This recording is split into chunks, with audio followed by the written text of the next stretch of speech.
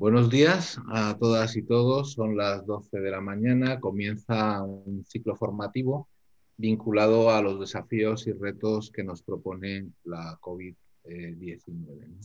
Hemos empezado un año, el 2021, eh, donde tenemos distintos espacios de, preocupación y también de interés eh, vinculados a la COVID, pues lo que tiene que ver con el impacto que, que ha tenido en el año 2020 y por tanto hoy vamos a conocer los resultados de un estudio que se ha llevado a cabo en este año pasado y realizado por, por la, el INICO, ¿no? y donde vamos a tener mayor conocimiento de cómo está eh, teniendo pues, efecto en las personas, en las familias de personas con discapacidad intelectual o del desarrollo. Es un tema muy importante, es decir, qué aprendizajes tenemos para, para poder eh, afrontar de manera más segura o con mayores competencias el futuro. También está otro tema que nos preocupa muchísimo, que es el proceso de vacunación, que por un lado es una oportunidad, por otro lado también es un espacio donde pues tenemos muchas cosas que conocer, que aprender, que hacer bien, eh, y, en ese sentido, pues hoy también lo vamos a, a, abordar. Por tanto, es un ciclo que os presentamos con distintos momentos, va a haber cinco grandes momentos donde trataremos temas que parece que son especialmente relevantes. Estos dos del día de hoy, viernes, pero otros que tendrán que ver pues, con el impacto en el bienestar de las personas, ¿no? que preocupa eso que llaman la fatiga pandémica, los cuadros de, más depresivos, de tristeza, de, de desesperanza, ¿no? la falta de relaciones, otros temas muy vinculados de cómo podemos reorganizar nuestros apoyos para que sean más seguros, más cercanos a las personas, la tecnología como una herramienta de oportunidad, distintos ámbitos y temas que creemos que son muy importantes. Y hoy eh, tenemos un intenso programa, y por tanto yo voy a ser muy, muy ágil en la presentación, un intenso programa con dos momentos, como decía, resultados de estudio con INICO y también una reflexión vinculada con la vacunación desde distintos eh, facetas, desde dilema ético que supone, de la parte jurídica, de la, de la parte sanitaria médica, etcétera, etcétera. Pero para comenzar este ciclo tenemos que agradecer la presencia de Jorge Usó, que viene como representante de, de, la Vicepresidencia de Derechos Sociales, especialmente de la Secretaría de Estado. Él es director de gabinete del secretario de Estado y es un colaborador, lo tenemos que decir claramente, del trabajo, los objetivos, los retos que, que las organizaciones del tercer sector, de los servicios sociales, de la discapacidad y en concreto de plena inclusión, un colaborador claro en este momento de tanta dificultad. Entonces, me gustaría saludar a Jorge.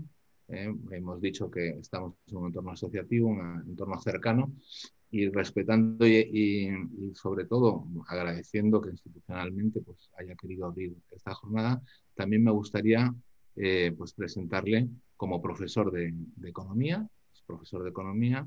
En su Twitter dice que le gusta debatir y respetar a las personas. Y como primera pregunta, así porque vamos a intentar hacerlo desde una charla eh, entre los dos, yo te preguntaría, Jorge, para que lo entendamos todos, ¿qué hace un director de gabinete de una Secretaría de Estado? Pues eh, gracias, Enrique, y permíteme que primero, antes de contestar a esta, a esta pregunta, eh, mm, eh, os exprese mi agradecimiento, mi satisfacción por estar aquí. Me siento muy cómodo siempre que he estado reunido, trabajando, dialogando con las personas de plena inclusión y, por lo tanto, me encuentro en casa y, y así, así lo siento quería también a todos y todas desearos eh, pues, que os encontréis bien, que a pesar de las circunstancias mantengáis el, ánimo y que este año que eh, todos estábamos esperando el 31 de diciembre para cambiar la página y ha empezado eh, pisando fuerte, sin embargo, conforme vaya transcurriendo el tiempo, pues nos permite ir pues cambiando la conversación, cambiando la perspectiva y mirando al futuro con esperanza y también, en tercer lugar, dejadme que felicite a, no solo a los organizadores de este evento, sino a los autores del informe que mm, nos ha interesado mucho en la Secretaría de Estado y que nos ha enseñado y aportado, como todo lo que hacéis, también mucho. Y la pregunta me pilla completamente de sorpresa esto que hace un director de gabinete porque llevo un año y no me he parado a pensar realmente, a, sistematizarlo porque, hombre, si me permites un poquito, dormir muy poco. Eh, lo primero que hace un director de gabinete es dormir, dormir muy poco porque hay bastante trabajo en un año como este.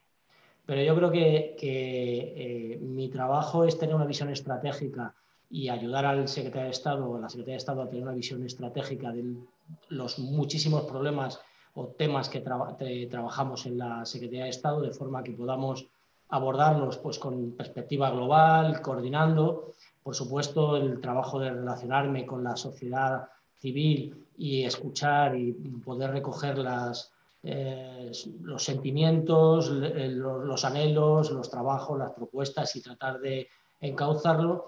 Y luego tengo la suerte de mm, dirigir un gabinete, significa contar con un equipo la Secretaría de Estado la hemos formado, hemos venido aquí a trabajar personas que ya llevábamos un tiempo trabajando juntos y por tanto tengo la suerte de dirigir un equipo extraordinario de personas que hacen trabajo técnico de cada uno de los temas que vamos abordando, que son muy amplios, como sabéis, los temas, eh, la, Secretaría de Estado aborda los temas de la dependencia, la atención a las personas con discapacidad, los derechos de la infancia y la adolescencia, la juventud, los servicios sociales, la familia, eh, la pobreza y la desigualdad. Eh, es decir, que tenemos un trabajo muy, muy intenso y, bueno, además, como sabéis, por formar parte de esta vicepresidencia, pues en, en, general intentamos influir, llevar esta visión de los derechos sociales al conjunto de las políticas del gobierno. Entonces, bueno, pues esta parte también de preparar documentación, eh, preparar trabajos de fondo, pues corresponde también al gabinete y, ahí estamos, intentándolo hacer lo mejor posible y aprendiendo sobre la marcha. Te diré que me ha gustado mucho que me presentaras como profesor. los que estamos aquí hemos venido mm, con la filosofía siguiente que es trabajar como si fuéramos a estar toda la vida, pero sabiendo que vamos a estar solo un tiempo aquí en, el servicio público y que volveremos a nuestro trabajo en la universidad en su momento y no perdemos esta perspectiva.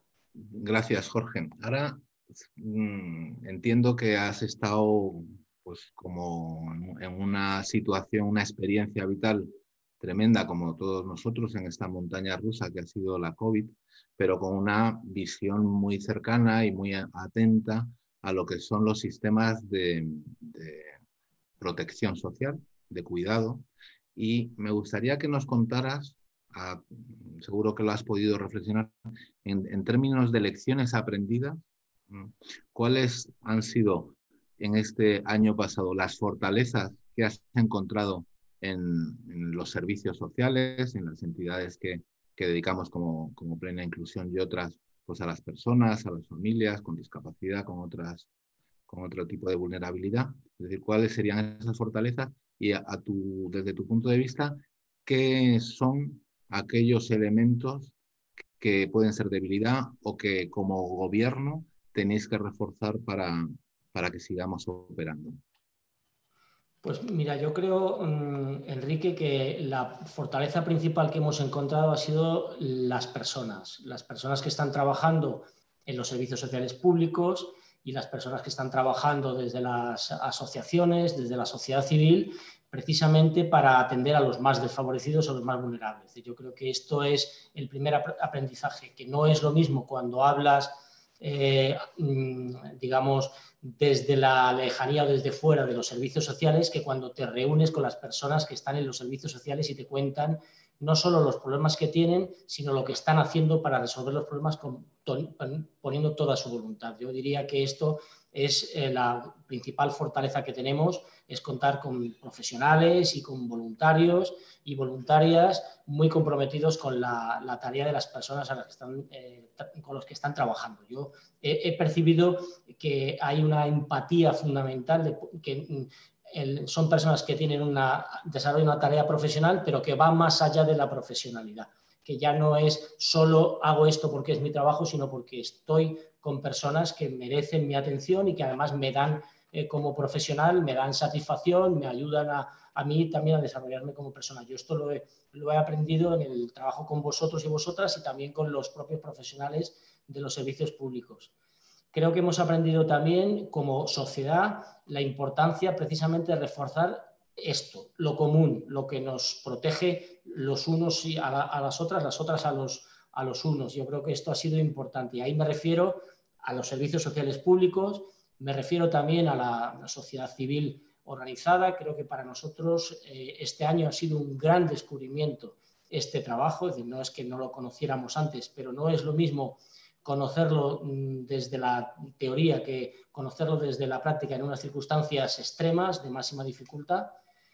Y eh, creo que las debilidades, pues eh, creo que hay una debilidad importante que es precisamente la falta de recursos. Es decir, creo que venimos de un tiempo donde los servicios sociales y también eh, las sociedades, la sociedad civil no ha estado suficientemente atendida, financiada en las prioridades y esto lo tenemos que recomponer. Tenemos que recomponer lo que es común, lo que nos protege a todos. Y creo también que entre las fortalezas y, uno de los aprendizajes es cómo eh, las personas nos hemos apoyado a, unos, a nosotros y en nosotros. He hablado de los servicios sociales, he hablado de las, de las entidades sociales, pero no querría dejarme también que seguramente el apoyo de lo más cercano de las personas que están al lado, de las familias en los momentos complicados, es otro de los aprendizajes que, creo que, hemos hecho. ¿no? Cada uno hemos ido buscando Mm, ese apoyo en, el, momento, en los momentos más difíciles. Gracias, Jorge. Si eso es un poco eh, de retrospectiva, mirando eh, con el espejo retrovisor, ¿no? Ahora eh, sí que te pediríamos que nos dieras como claves de futuro. Tenéis aprobados unos presupuestos generales del Estado, tenéis unas prioridades. Entiendo que la sociedad en su conjunto se siente una prioridad porque ves el periódico y que si está el tema de la hostelería, la cultura, etcétera, etcétera. Entonces, yo creo que desde, el movimiento asociativo, desde el tercer sector, entendemos que en una situación donde hay tantas necesidades, tantas eh, formas de, reales, ¿no? De buscar recursos para superar esta situación global, ¿qué nos podrías decir de cuáles serían esas líneas de fortalecimiento de lo común y qué papel o qué espacio podemos pensar que nos va a permitir mejorar en términos globales, ¿no? desde tu visión eh, de gobierno. Pues mira, yo, mm, bueno, como bien dices, eh, hay muchas necesidades y todos los sectores están eh, pidiendo apoyo y, todos lo merecen, pero creo que los presupuestos que has mencionado y el plan de choque en dependencia que acabamos de aprobar, los fondos europeos, sí eh, muestran que, mm, desde luego, desde nuestra mm, Secretaría de Estado, desde la vicepresidencia, yo creo desde el conjunto del Gobierno, y no me quiero poner institucional, pero, pero creo que tengo que decirlo, sí que hay una apuesta muy fuerte por eh, este reforzamiento de lo común que se concreta en el reforzamiento de los servicios sociales y de las políticas que tienen que ver con la atención a la dependencia en particular. Y mm, esto, eh, por ejemplo, eh, nos hace, cuando yo hablaba, intentemos cambiar la conversación, no quiere decir que no seamos conscientes de los problemas que tenemos, sino que los miremos con eh, esperanza y sobre todo con decisiones, de haciendo cosas, es decir, que intentemos resolver cuestiones. Y yo creo que en esto los presupuestos han traído como mínimo tres buenas noticias, espero que más, pero en nuestro ámbito, una de ellas es que eh, eh, el, reforzamiento de los servicios sociales. Eh, el, gobierno sabéis que financia, el gobierno central financia ayuda a financiar los servicios sociales que se prestan en el conjunto del país y este año los presupuestos incluyen un incremento de esa financiación que nos sitúa otra vez en el punto de, antes de la crisis anterior. antes de la crisis de 2012 hemos recuperado en un solo año todo ese presupuesto que se había reducido en ocho años, lo hemos vuelto a situar en el punto donde nos encontrábamos cuando en la crisis anterior empezaron los recortes en la financiación de los servicios. Segundo punto de esperanza importante creo que es la orientación que hemos dado a los fondos europeos. En conjunto, Mm, eh, todo el proyecto de fondos europeos está basado en la idea de que tenemos que invertir dinero no solo en estimular la economía, que se podría hacer de muchas maneras, sino además orientarlo a cambiar, a cambiar cosas que funcionan mal que tienen que ver, como sabéis, con la transición ecológica, con la digitalización, pero también tiene que ver con la cohesión eh, territorial y con la cohesión de las, social, es decir, con las personas y que este proceso de transformación no deje a nadie al margen. Y por eso nosotros vamos a poner eh, el énfasis, el, el, presupuesto que va a gestionar este ministerio, que serán en estos tres años unos 3.500 millones de euros. Las grandes cifras suponen, eh, es difícil de entender, pero esto supone que nuestro presupuesto de un año para otro se ha aumentado un 70% y lo vamos a dedicar a tres cosas que hemos hablado con vosotros y que de hecho he de decir que una de ellas está muy influida, como sabéis, por las cosas que hemos hablado con vosotros. Y estas tres cosas en las que nos vamos a focalizar son, la primera, el cambio en el modelo de apoyos y cuidados eh, de larga duración de las personas que necesitan apoyos y cuidados para eh, hacer su vida cotidiana. Vamos a centrar ahí, la mayor parte de la inversión que vamos a hacer va a estar aquí. Y mm, va a estar fundamentada fundamentalmente en llevar a cabo proyectos que sirvan para cambiar cómo las atendemos y cómo les apoyamos, sobre todo para eh, ir hacia este modelo que conocéis bien de atención centrada a la persona, de eh, atención en la proximidad, de promoción de la independencia y de la capacidad de decisión de las personas que necesitan estos apoyos. Lo haremos a través de inversiones, a través de proyectos de innovación, a través de mejoras tecnológicas, a través de formación. Este sería el primer gran eje que vamos a hacer, que yo creo que es una oportunidad muy importante para esto que creo que existía ya un gran consenso de que era necesario, lo ponemos en marcha lo pondremos en marcha con las comunidades autónomas, con las entidades sociales y con eh, eh, eh, trabajo de los ayuntamientos también. El segundo gran eje que vamos a poner es un eje de modernización, que vamos a poner en marcha, modernización de los servicios sociales. Es trabajar directamente en el, en el sector de servicios sociales, tanto el sector de servicios sociales públicos como también en el tercer sector, que lo estamos incluyendo aquí por ejemplo, en proyectos de modernización tecnológica de las entidades. Sabéis que estos fondos no los podemos dedicar a prestar servicios, pero sí a apoyar a quien los presta, ayudándoles a, por ejemplo, modernizarse tecnológicamente, formarse, etc. Y luego hay un tercer eje, que es el eje de la accesibilidad universal. Es promocionar, es un programa que hemos llamado España País Accesible, y fundamentalmente aquí vamos a invertir en todos los tipos de accesibilidad y en todos los ámbitos donde esto es necesario.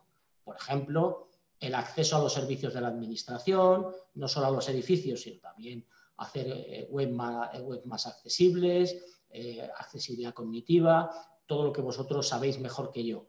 También en el ámbito educativo, en el ámbito de los puestos de trabajo, la investigación y el desarrollo, por ejemplo, eh, puedo eh, deciros, Enrique y, los demás, que vamos a llevar una propuesta que tenemos que discutir con la Comisión Europea, pero vamos a llevar una propuesta de crear un centro de investigación en accesibilidad cognitiva, eh, que sería una de las inversiones fuertes que haríamos ahí.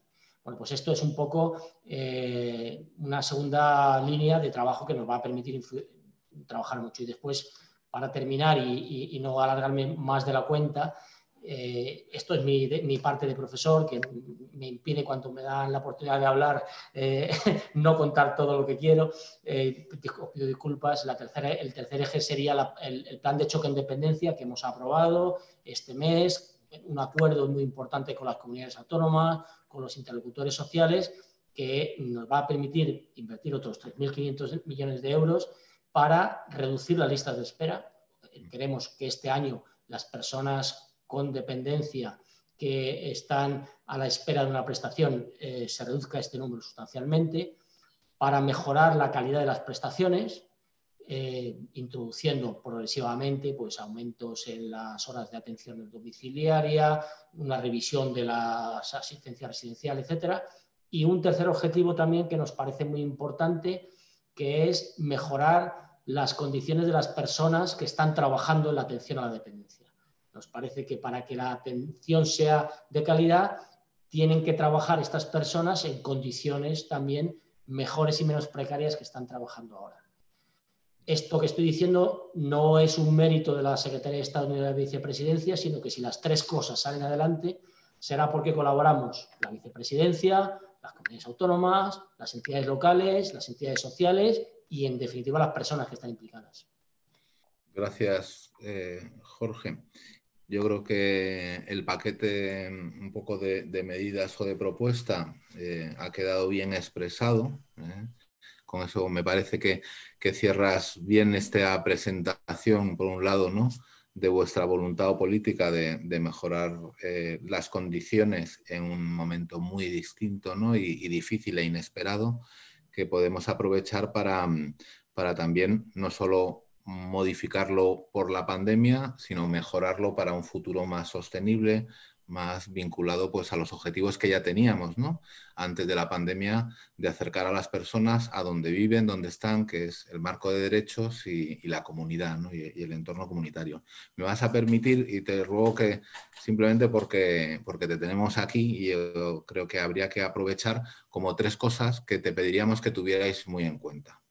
Una es eh, poder trasladar a las comunidades autónomas que en la priorización de la vacunación las personas con discapacidad que tienen grandes necesidades formen parte sí o sí del, colectivo priorizado. Aparece como grandes dependientes, pero yo creo que es muy importante que se tenga claro que tiene que ser un colectivo que tiene que tener una priorización porque, porque es de justicia hacerlo.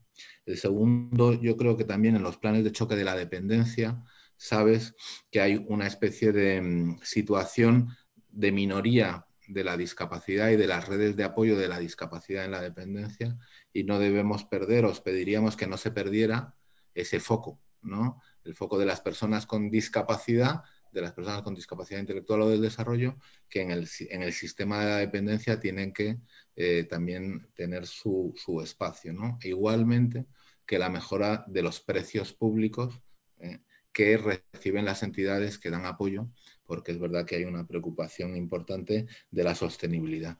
Y por último, creemos que la accesibilidad cognitiva es una llave de derecho, ¿no? que como bien dices, ahora se abre una expectativa importante y estamos convencidos de que es el momento de que se reconozca como un servicio público para todo el mundo, pero especialmente, bueno, pues en la pandemia se ha visto, las, creo que eran 300 vías que hemos realizado de comunicaciones, etcétera, en la cognitiva. Entonces, eh, simplemente pedirte eso, agradecerte muchísimo tu presencia aquí. Nos hemos pasado un poquito de tiempo, ¿eh? ahora me regañarán a mí, pero yo diré que soy el culpable. ¿eh?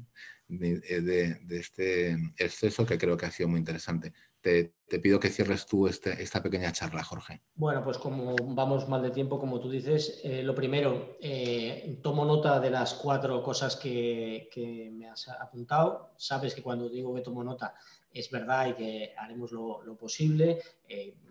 nos dirigiremos a sanidad explícitamente para esto que me has comentado de la vacunación, pero también tomo nota de lo, de lo demás y a los organizadores le, me echas a mí la culpa de habernos pasado el tiempo porque evidentemente he sido yo el que me he excedido en el uso de la palabra. Bueno. Y muchísimas gracias de verdad por, el, por este pues, tiempo. Pues nada, Jorge, mil gracias. Estás en tu casa, te puedes quedar todo el tiempo que, que quieras y, ya pasaríamos al segundo momento ¿no? de, este encuentro, que mm, es ceder la palabra a Miguel Ángel y a Patricia, Miguel Ángel Verdugo, catedrático de Psicología de la Discapacidad de la Universidad de Salamanca, de la Facultad de Psicología, director del INICO, director, siempre me gusta decirlo, de nuestra revista científica de siglo cero, y Patricia Navas, eh, profesora de Psicología de la Universidad de Salamanca también, investigadora del INICO.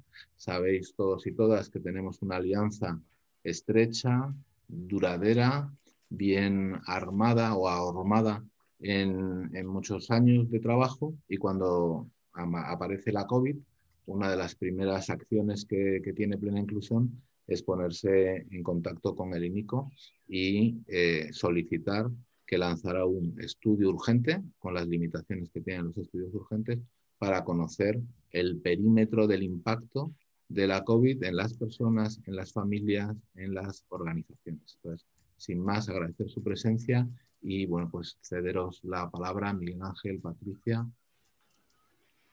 Muchas gracias, Enrique. Voy a, compartir primero la, pantalla para que veáis todos la presentación. ¿Se ve, verdad? Vale, perfecto. Miguel Ángel, cuando... Empiezo. Venga, bueno, gracias a todos por la invitación, a Plena Inclusión particularmente y, y también al Ministerio de Derechos Sociales y Agenda 2030, a Jorge, por las palabras y felicitaciones que nos han dado. Eh, como dice Enrique, la verdad es que somos eh, instituciones que parecemos parejas de hecho, porque vamos caminando conjuntamente en formación, en investigación, en principios y en valores, de manera que estamos siempre satisfechos de, estar juntos. Eh, el estudio que presentamos ahora, y vamos a ir turnándonos Patricia y yo, eh, digamos que va eh, está, está, realizado por nosotros dos, pero también está realizado por Antonio Amor, Manuela Crespo y Sergio Martínez y está hecho en colaboración, digamos, amplia e intensa y gracias al apoyo de, para todo el trabajo de campo de, plena inclusión, de Berta, de todo el equipo de Madrid que estáis ahí y que fuisteis difundiendo las encuestas. Paso a comentar un poquito el, por qué hemos hecho ese estudio, qué razones, aunque son evidentes, pero si he visto los estudios internacionales que van saliendo, todavía no son muchos, pero ya hay un buen número, todos hablan de las consecuencias en la salud, que es que decir, nuestra población es mucho más vulnerable, la población con discapacidades intelectuales y del desarrollo es mucho más vulnerable a problemas de salud por distintas razones. Entonces, el impacto de la COVID, lógicamente, pues, eh, es mayor y, pretendíamos conocerlo. A la vez, dadas sus situaciones en ocasiones de, de segregación, y de modelos eh, residenciales o de servicios eh, no centrados en lo natural, ha tenido unos problemas de pérdida de apoyos eh, o de dificultades para mantenerlos como habitualmente se daban. A lo que se ha unido la falta de respuesta de las administraciones autonómicas, mm, que no han protocolizado adecuadamente a veces nada y en ocasiones poco. y eso ha redundado en, en que ha tenido que improvisarse eh, digamos, las, tareas y, las actividades de las organizaciones. Al final, eh, eh, también las medidas gubernamentales han restringido derechos a la población directamente para solucionar o pretender solucionar o parar la epidemia. Lo que se ha hecho es hacer una, digamos, una negación expresa de derechos a al, obligar a confinamiento, al reducir el contacto familiar en aquellos en residencias, de manera que esto justificaba el que viéramos qué opinaban las personas, qué opinaban las familias, eh, qué opinaban los profesionales y también cómo estaba afectando a las organizaciones. Eh, las características de la encuesta, que pasamos en la siguiente a, a, comentar un poco, han sido cuatro encuestas en realidad. Están hechas en el mes de junio, intentando evaluar lo que había pasado desde mitad de marzo hasta mitad de junio ¿eh? esa primera ola llamada así. Yo no sé si se puede llamar de olas o es, eh, digamos, una sucesión tipo tsunami continuo, ¿verdad? Lo que está ocurriendo, aunque se habla de olas, yo no discrimino claramente. Lo que veo es que hay un pico y una, interpretación de, de la COVID que es más subidas y bajadas en todos los países. Creemos eh, que, que, funcionan nuestros criterios de control. Yo no tengo tan claro que sea la única explicación. Dentro de unos años y con el estudio apropiado del virus y de todo lo que ha pasado en muchos países, probablemente haya una mejor explicación de todas las subidas y bajadas que, por supuesto, afecta el comportamiento social, a veces negativo, de poco control y disciplina, pero también probablemente características del propio virus difíciles de conocer ahora. Bueno, lo que hicimos fue eh, trabajar online, porque era la única manera de hacerlo. Esto nos permitió trabajar de manera ágil en el, trabajo de campo, luego con un esfuerzo muy grande en, el análisis de datos que nos llevó varios meses hasta poder tenerlo resuelto, pero hicimos esas cuatro encuestas a personas, a familiares, a profesionales y a gerentes o responsables de servicios. Con esas cuatro encuestas, el único problema o limitación que vemos es que algún tipo de población se nos ha podido quedar sin responder, o casi seguro. ¿no? La población con discapacidad muy significativa difícilmente puedes analizar sus respuestas si no es directamente entrevistándole y observando o hablando con él, ¿no? o comunicándote con él. Entonces aquí, como era por medio de la tecnología, eso era una barrera. Y la otra barrera ha sido también en las familias con pocos recursos tecnológicos, que desafortunadamente coincide con las familias en, situaciones de pobreza o, de, o, de, o socioculturalmente eh, limitaciones importantes. Entonces, estos se nos han quedado fuera, lógicamente, por el tipo de trabajo que se podía hacer y habría que entender en su momento si hay diferencias en lo que en lo que a este tipo de población ha podido ocurrir. No queremos que esté siempre, aunque es verdad que veréis que más de la mitad de los que nos responden son personas con discapacidades significativas, pero eh, en cuanto a familiares me refiero sobre todo, eh, las respuestas de las personas hayan quedado un poco limitadas. Pero bueno, tenemos muchos datos y muy buenos de distintos eh, colectivos. Veis ahí que hay unos 1.500 en total, veis más de 500 personas, más de 300 familiares o tutores legales, cerca de 500 profesionales y 75 gerentes o responsables. Era nuestra intención desde el primer momento, cuando hablamos Enrique y yo inicialmente del tema, la intención era que los actores principales que pueden verse afectados, eh, eh, digamos, por las consecuencias, debían ser los que opinaran. Entonces, estudio se dedicó a obtener, analizar y sistematizar y sacar conclusiones de la percepción de las personas, familiares, profesionales y, responsables, gerentes o responsables de organizaciones. Veis ahí que las características de la muestra eran muy amplia en cuanto a edad, eh, en cuanto a las personas, más de la mitad trabajaba o, estudiaba eh, antes del confinamiento. En cuanto a las familiares, la mayor parte eran mujeres, igual que en profesionales, como es este mundo, en el cual que gracias a la involucración activa y comprometida de las mujeres ha ido dando las respuestas que, que la sociedad tardamos tanto en saber dar, pero bueno, ahí está la muestra en ese sentido. Y luego los profesionales representaban una atención de casi 20.000 personas y luego 75 gerentes o responsables de organizaciones, la mayor parte vinculados a plena inclusión, lógicamente, porque era la plataforma y, el, y la colaboración mutua. Es un estudio conjunto, digamos, hecho con ellos. Bueno, esto era un poco la presentación. Ahora dejo la palabra a Patricia. Bueno, pues eh, yo me voy a centrar brevemente en, comentar el impacto que hemos observado que ha tenido la COVID-19 y fundamentalmente el periodo de confinamiento en, las personas con discapacidad intelectual y el desarrollo y, sus familias. En primer lugar, por situar un poco cómo ha incidido eh, la COVID-19 en esta población y teniendo muy en cuenta que el estudio, como ha comentado Miguel Ángel, abarca desde marzo hasta finales de junio, es verdad que los datos que nos han proporcionado familias y las propias eh, personas y también los profesionales nos indican que la prevalencia de la COVID en este colectivo pues es similar a la que han arrojado otros estudios de seroprevalencia en, en la población general, pero tenemos que tener presente que en el momento en que realizamos el, estudio vimos especiales dificultades de acceso a la realización de pruebas. Solo una de cada cuatro personas podía, eh, había podido tener perdón, eh, acceso a, una prueba, una PCR, un test de antígenos o anticuerpos. Y esto sucedía fundamentalmente en las personas que se encontraban residiendo en, el hogar familiar ¿no? o de manera independiente. Sí que vimos que las personas en contextos residenciales tuvieron eh, más facilidades de acceso a una, prueba diagnóstica, eh, pero esto está justificado porque, como indicamos en la presentación, en casi la mitad de las organizaciones en este periodo comprendido entre marzo y finales de junio, en casi la mitad se produjo eh, algún contagio. Eh, sin duda alguna, esta situación de confinamiento pues, ha introducido eh, condiciones, cambios importantes en las condiciones de vida de, las personas con discapacidad intelectual y de sus familias. Hemos visto cómo el 10% aproximadamente de, la muestra de personas con discapacidad intelectual y el desarrollo eh, que nos dio su opinión nos informó que había tenido que cambiar de residencia ¿no? debido a la situación de confinamiento, siendo este cambio en la mayor parte de los casos el traslado de un contexto residencial al hogar familiar.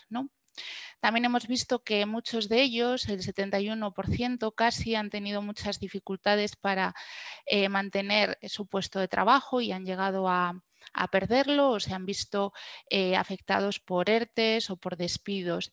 Y también hemos podido comprobar, y esto es una constante a lo largo del informe, el escaso apoyo que han recibido por parte del sistema educativo, tanto ordinario como específico y casi el 50% de estas personas que han contestado a, la encuesta nos indicó que había experimentado muchas dificultades para seguir el curso de manera online, ¿no? sobre todo debido a, que les resultaba muy complejo seguir las, las instrucciones y las tareas de manera online. También las familias nos indican que sus condiciones de vida han cambiado y en torno a un 22% ha visto cómo sus ingresos han disminuido y esto eh, en algunas ocasiones ha tenido un impacto a la hora de proporcionar apoyo al familiar con discapacidad intelectual o del desarrollo. Eh, es verdad que casi todas las personas con discapacidad intelectual que contestaron a la encuesta, que estaba redactada en lectura fácil, y también las familias, nos dicen que sí que han contado con apoyos. ¿no? Casi el 80, más del 80% de las personas con discapacidad intelectual y el desarrollo eh, nos confirmaron que durante este periodo de confinamiento habían contado con el apoyo fundamentalmente de dos fuentes, la familia en primer lugar y en segundo lugar las, las organizaciones del tercer sector, siendo, como decía, antes anecdótico el apoyo de centros escolares, centros de salud u otro tipo de, u otro tipo de sectores. Sí que hemos visto que a pesar de este apoyo, eh, el 20% nos indicaba que había carecido de, apoyos que sí que necesitaba, siendo estos apoyos fundamentalmente de carácter más profesional. ¿no? Y hemos visto también que el contexto ha condicionado muchísimo los apoyos que ha recibido la persona. Eh, vemos que las personas en contextos residenciales apenas han contado con apoyos naturales y que las personas que han, recibido, que han residido perdón, con, su familia pues han dependido casi exclusivamente de, de, los apoyos que ha proporcionado esta, ¿no? que han proporcionado los familiares. Esto explica por qué eh, más de la mitad de las familias nos comentaron en su encuesta que se vieron expuestas a situaciones pues, de mayor estrés o experimentaron especiales dificultades que se intensifican en las familias eh, que tienen un familiar con necesidades de, apoyo extenso o generalizadas. ¿no? Y estas dificultades para prestar esos apoyos se deben fundamentalmente a tres motivos. Uno, el ya comentado, el, el escaso apoyo del sector educativo. Tres de cada cuatro familias que tenían hijos en edad escolar nos manifestaron haber experimentado dificultades pues, para que su hijo siguiera el curso con cierta normalidad. También una de cada tres familias eh, nos comentó que necesitó algún apoyo extradicional para poder sobrellevar todo, un apoyo que no se recibió en la mitad de los casos.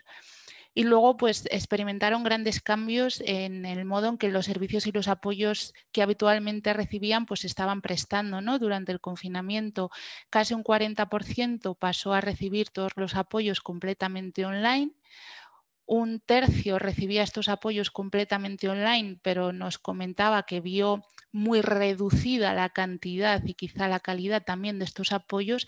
Y otro tercio de estas familias nos indicó que dejó totalmente de recibir los apoyos con los que antes contaban. ¿no? Y esto ha dado lugar eh, a consecuencias importantes, sobre todo en dos ámbitos en los que ha incidido Enrique. Al principio, consecuencias negativas en el bienestar emocional de las personas y las familias y consecuencias negativas a nivel de relaciones interpersonales, ¿no? aunque en el informe vais a poder ver pues, que se registran dificultades en todas esas dimensiones de calidad de vida. En bienestar emocional, pues eh, hemos observado un incremento de conductas desafiantes en casi el 40% de aquellos que ya presentaban esta problemática conductual. En los que han dejado de, recibir servicios o algún tipo de apoyo, pues se ha observado en la mitad un retroceso en habilidades ya adquiridas. Tanto las personas como los profesionales como las familias coinciden a la hora de señalar que el 60% de las personas con discapacidad intelectual estuvo más nervioso o un poco más ansioso y como os decía antes, pues casi el 70% de las familias informaron de situaciones de más estrés, ¿no? sobre todo debido a la sobrecarga por esos cuidados adicionales y a las dificultades para conciliar. Y como os decía, pues estos este impacto en el bienestar emocional, pues sí que vemos que es mucho mayor en familiares de una persona con grandes necesidades de apoyo, pues por todos los cambios que se han producido en la rutina, quizá las mayores dificultades para entender la situación y también para recibir los apoyos de manera remota, ¿no? de manera telemática. En cuanto a las relaciones interpersonales, hay un, entre las personas con discapacidades del desarrollo hay un consenso ¿no? a la hora de señalar que lo que más han echado de menos ha sido ese contacto con familiares y con amigos durante el confinamiento, pero sí que queremos destacar que esto ha sido especialmente mencionado por aquellos que residían en contextos específicos. ¿no? Volviendo un poco a lo que comentaba antes, tenemos un poco que pensar que el hecho de haber residido en un contexto específico pues, ha condicionado mucho eh, pues, qué tipo de apoyo se han recibido. Y de hecho, pues la mitad de las familias cuyo familiar estaba en un contexto específico durante el confinamiento, pues nos dijeron que se habían comunicado mucho menos con su familiar. Y además, en estos contextos específicos, pues bueno, todos hemos podido ver que se han implementado restricciones mucho más severas que han tenido cambios muy importantes en el día a día de las personas, ¿no? Cambio a veces de habitación, de compañeros con los que se convive, de, profesionales eh, que habitualmente prestan apoyos. Y bueno, las familias en general están preocupadas por esta nueva normalidad ¿no? que tenemos ahora y fundamentalmente por tres aspectos, por cómo se va a adaptar la persona a este nuevo contexto ¿no? Eh, que cambia para todos, cómo va a afectar toda esta situación a los centros y servicios, se manifiestan un poco preocupadas por la viabilidad ¿no? de los centros y servicios y por los efectos que a largo plazo, como, comentaba también eh, antes Enrique, pues va a tener esta situación en la salud física y mental de sus familiares.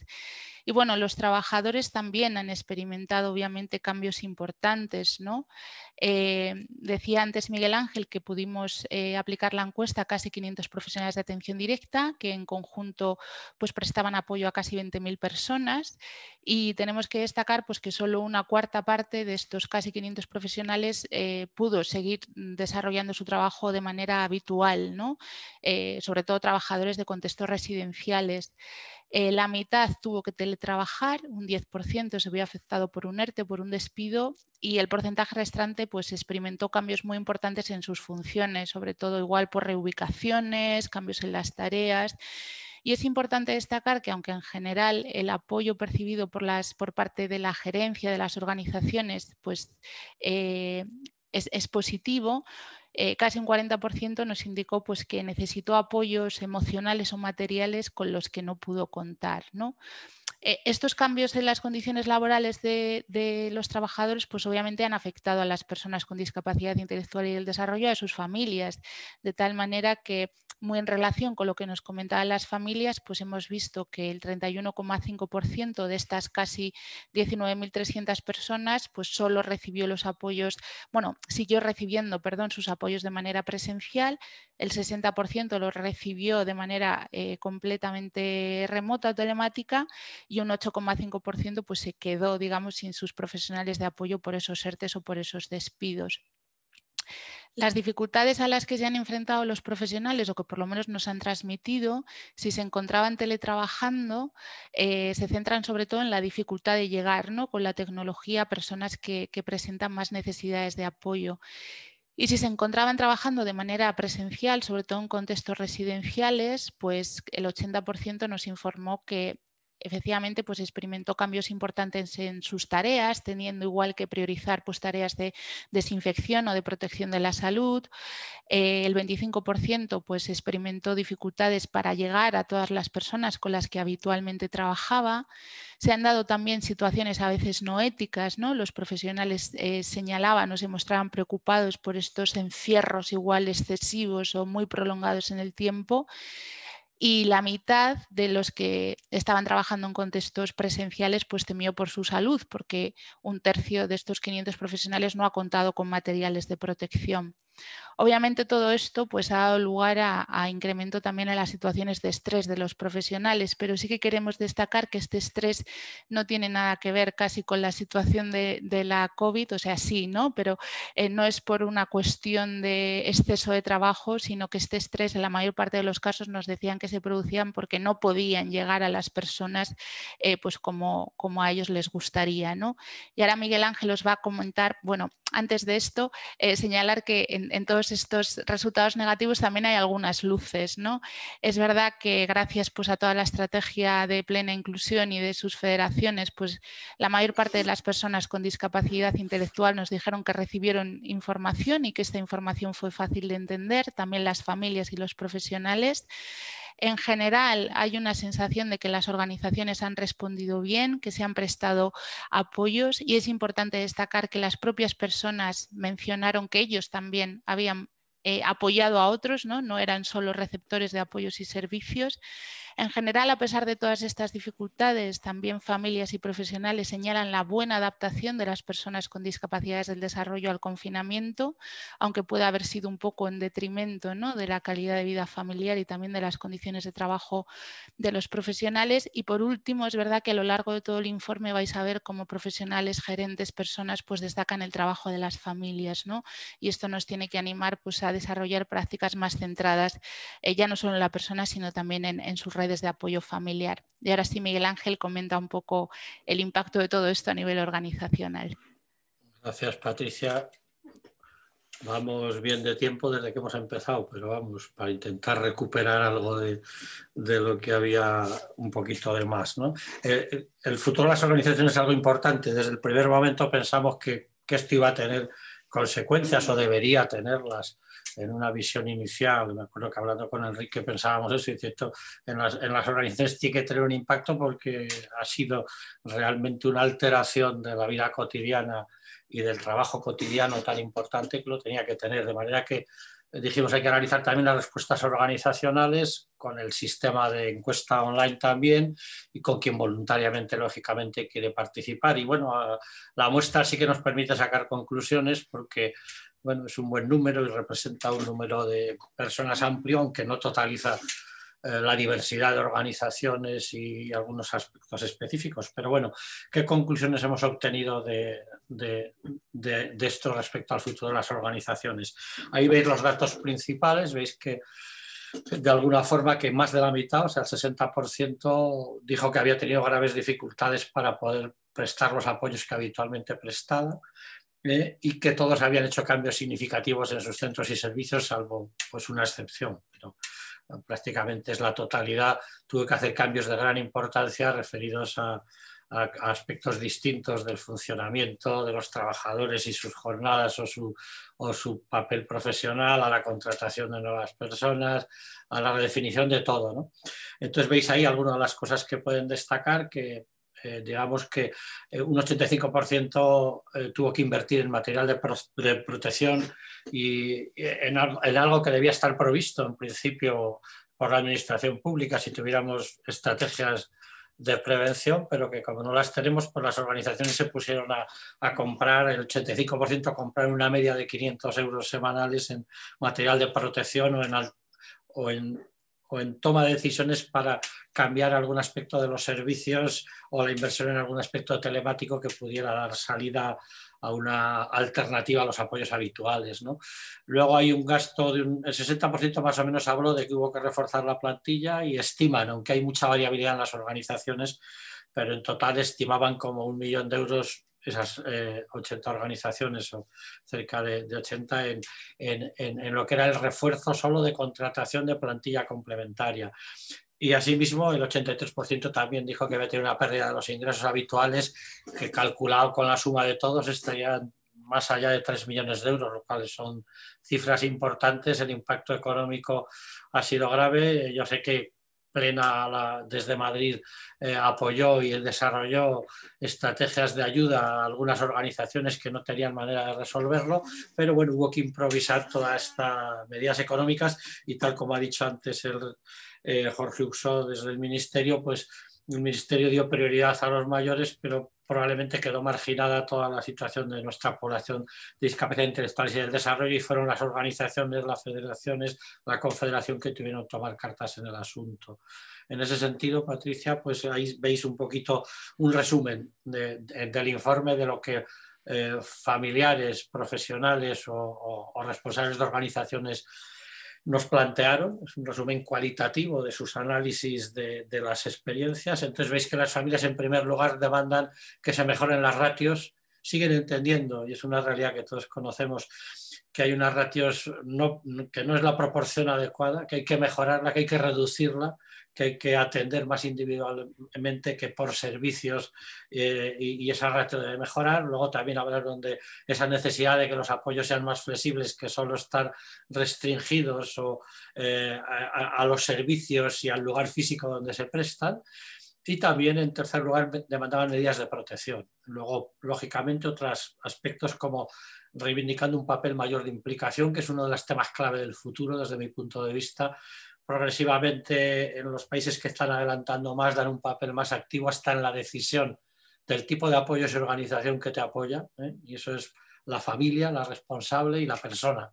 Y cuando no puede la persona, la familia.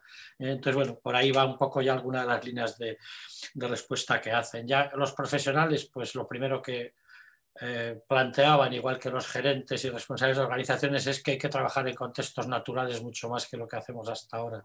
Eh, que hay que ir hacia un modelo más comunitario, menos segregado, menos de puertas para adentro y más involucrado en la sociedad inmediata, en la familia y en el medio natural.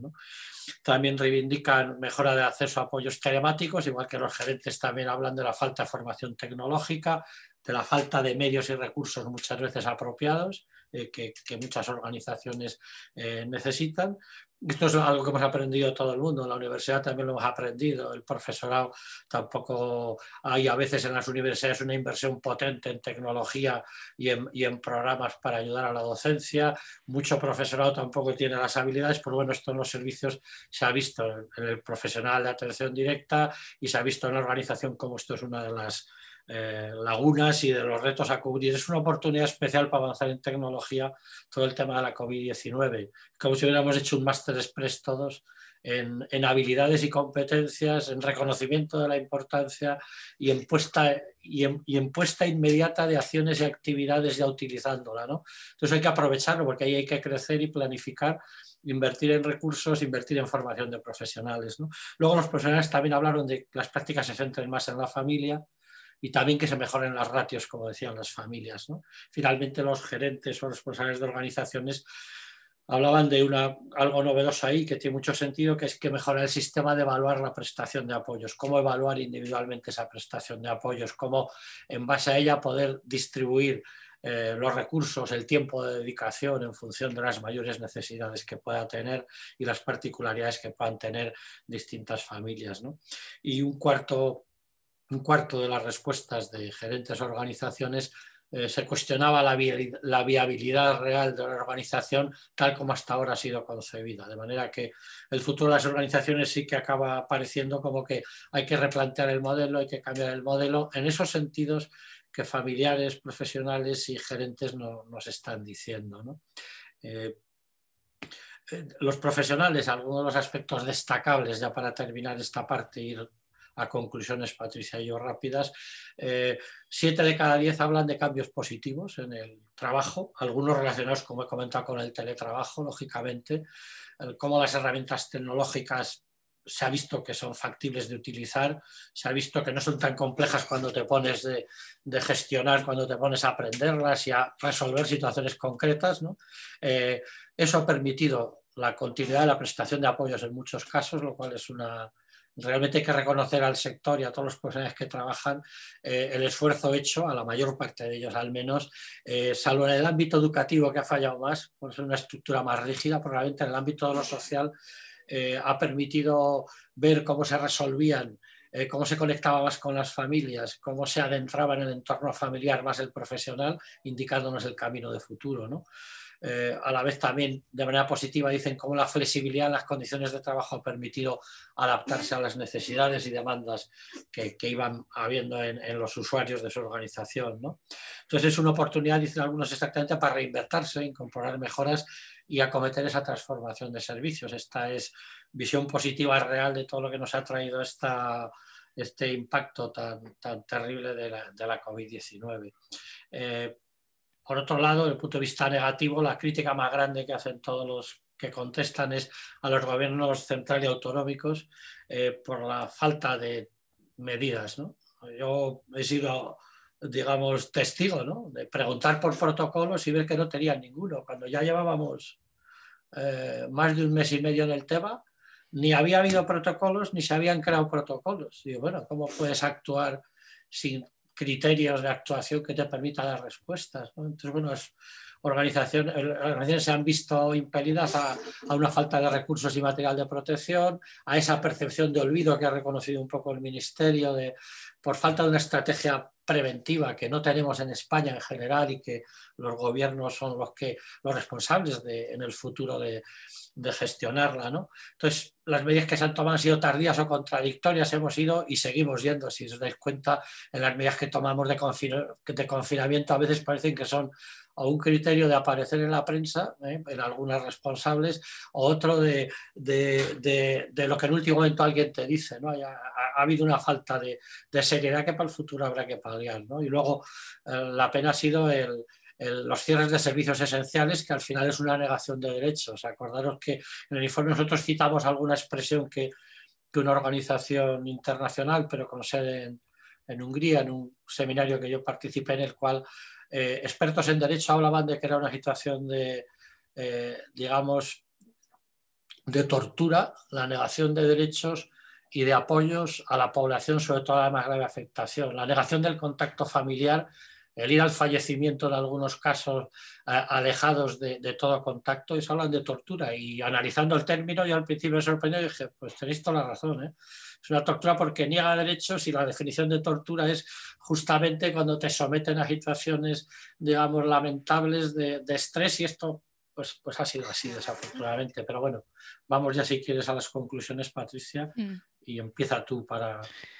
Vale, bueno, por resumir y siendo breve, eh, para que no, me, no nos reña Sofía, eh, como, como, hemos dicho, bueno, pues consideramos que la pandemia pues, ha intensificado y ha visibilizado pues, estas situaciones de exclusión que ya existían ¿no? en muchos contextos como el educativo eh, para las personas con discapacidades intelectuales y del desarrollo y también la precariedad del tercer sector, ¿no? Eh, que viene arrastrando pues, déficits eh, de recursos desde la pasada recesión, a pesar del ingente trabajo que han hecho familias, profesionales, gerentes y todo el tercer sector en general, pues es necesario fortalecer esta política social, pues teniendo mucho cuidado también en evitar ¿no? una medicalización de, los apoyos que ofertamos y que, que proveemos, intentando avanzar hacia contextos mucho más naturales, que yo creo que es una conclusión que se refleja a lo largo de todo el, de todo el informe. ¿no? Se ha puesto de manifiesto que esta población no solo ha vivido este confinamiento, lleva muchos años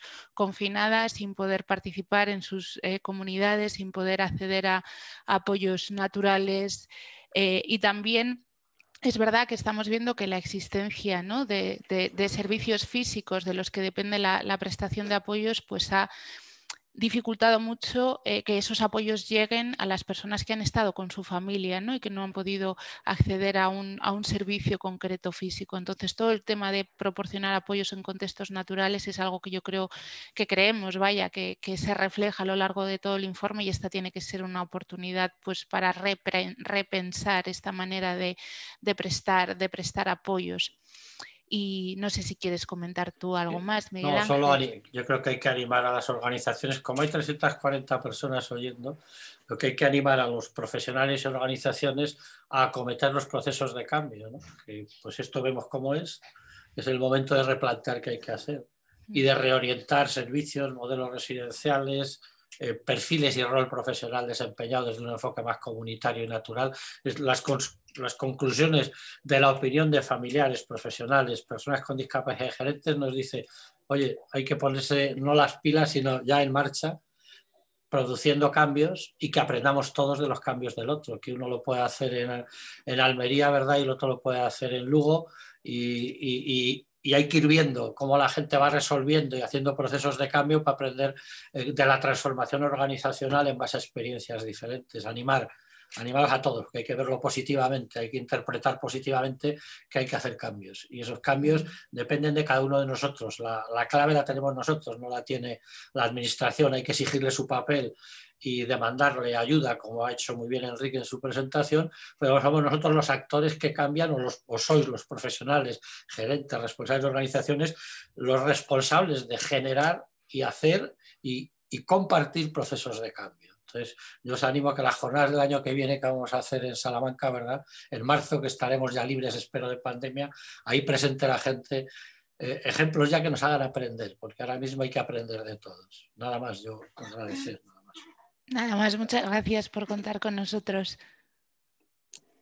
Pues muchísimas gracias, eh, Miguel Ángel y Patricia, por esta exposición tan clara, ¿no? y donde yo creo que una vez más eh, el INICO nos aporta datos y, evidencias de lo que hemos estado viviendo y seguimos viviendo en las organizaciones durante todos estos, todos estos meses. ¿no? Yo creo que también apuntáis esos grandes retos ¿no? ante los que estamos, que seguro van a ser la línea de futuro de, lo que tenemos que ir haciendo. Yo creo que el camino está marcado, así que muchas gracias a todo el equipo del INICO por, por todas esas evidencias y datos que nos ofrecéis. Muchísimas gracias.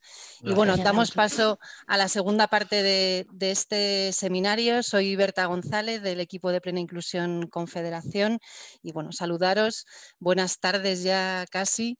Y antes de pasar a esta conversación que vamos a tener, a esta mesa virtual sobre la vacuna, queríamos eh, bueno, pues contaros y recordaros las dos propuestas que, que os estamos haciendo desde Plena Inclusión.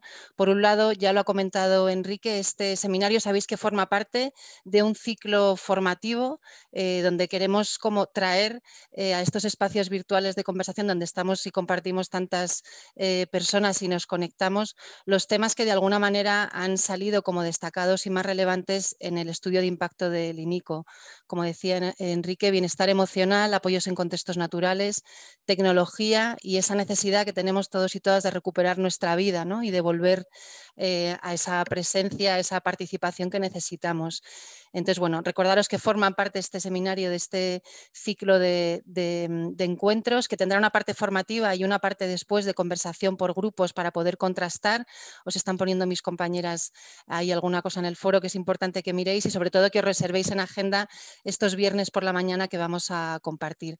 Y la segunda cuestión que queremos compartir eh, muy brevemente es un nuevo documento que desde el equipo de Plena Inclusión, con la colaboración de federaciones y de compañeros, sobre todo de recursos residenciales, hemos elaborado este documento que hemos titulado Medidas de alivio y reducción de restricciones, especialmente enfocado a la situación que hay en recursos residenciales y de vivienda, donde además de hacer un resumen de la situación actual en clave de, impacto, hemos querido eh, abordar cuestiones relacionadas con la perspectiva ética y jurídica en relación a esta situación y sobre todo ofrecer diferentes estrategias que contribuyan a, mm, un poco compensar eh, em, e, esta situación y este, el, impacto que, el confinamiento y las restricciones está teniendo en el bienestar de las personas a través de lo que hemos llamado medidas de alivio, a través de procesos que ayuden a hacer un buen análisis de los riesgos ¿no? de esas medidas de protección que se están imponiendo y que se siguen imponiendo, bueno, y a incorporar reflexión en los equipos de apoyo pues, sobre cómo incorporar medidas de alivio y cómo incorporar estrategias poco a poco de reducción de las restricciones. Os invitamos a que lo leáis, a que lo consultéis.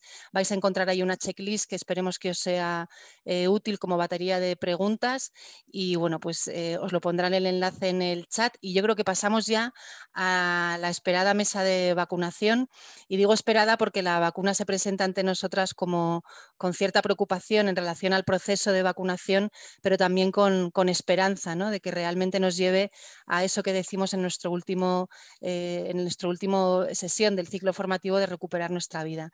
Tenemos una mesa virtual, yo creo que excelente con diferentes personas que van a abordar desde diferentes perspectivas el tema de la vacunación, que voy a pasar a, presentar a las cuatro personas a la vez y luego eh, les iré haciendo las preguntas y dando, y dando paso.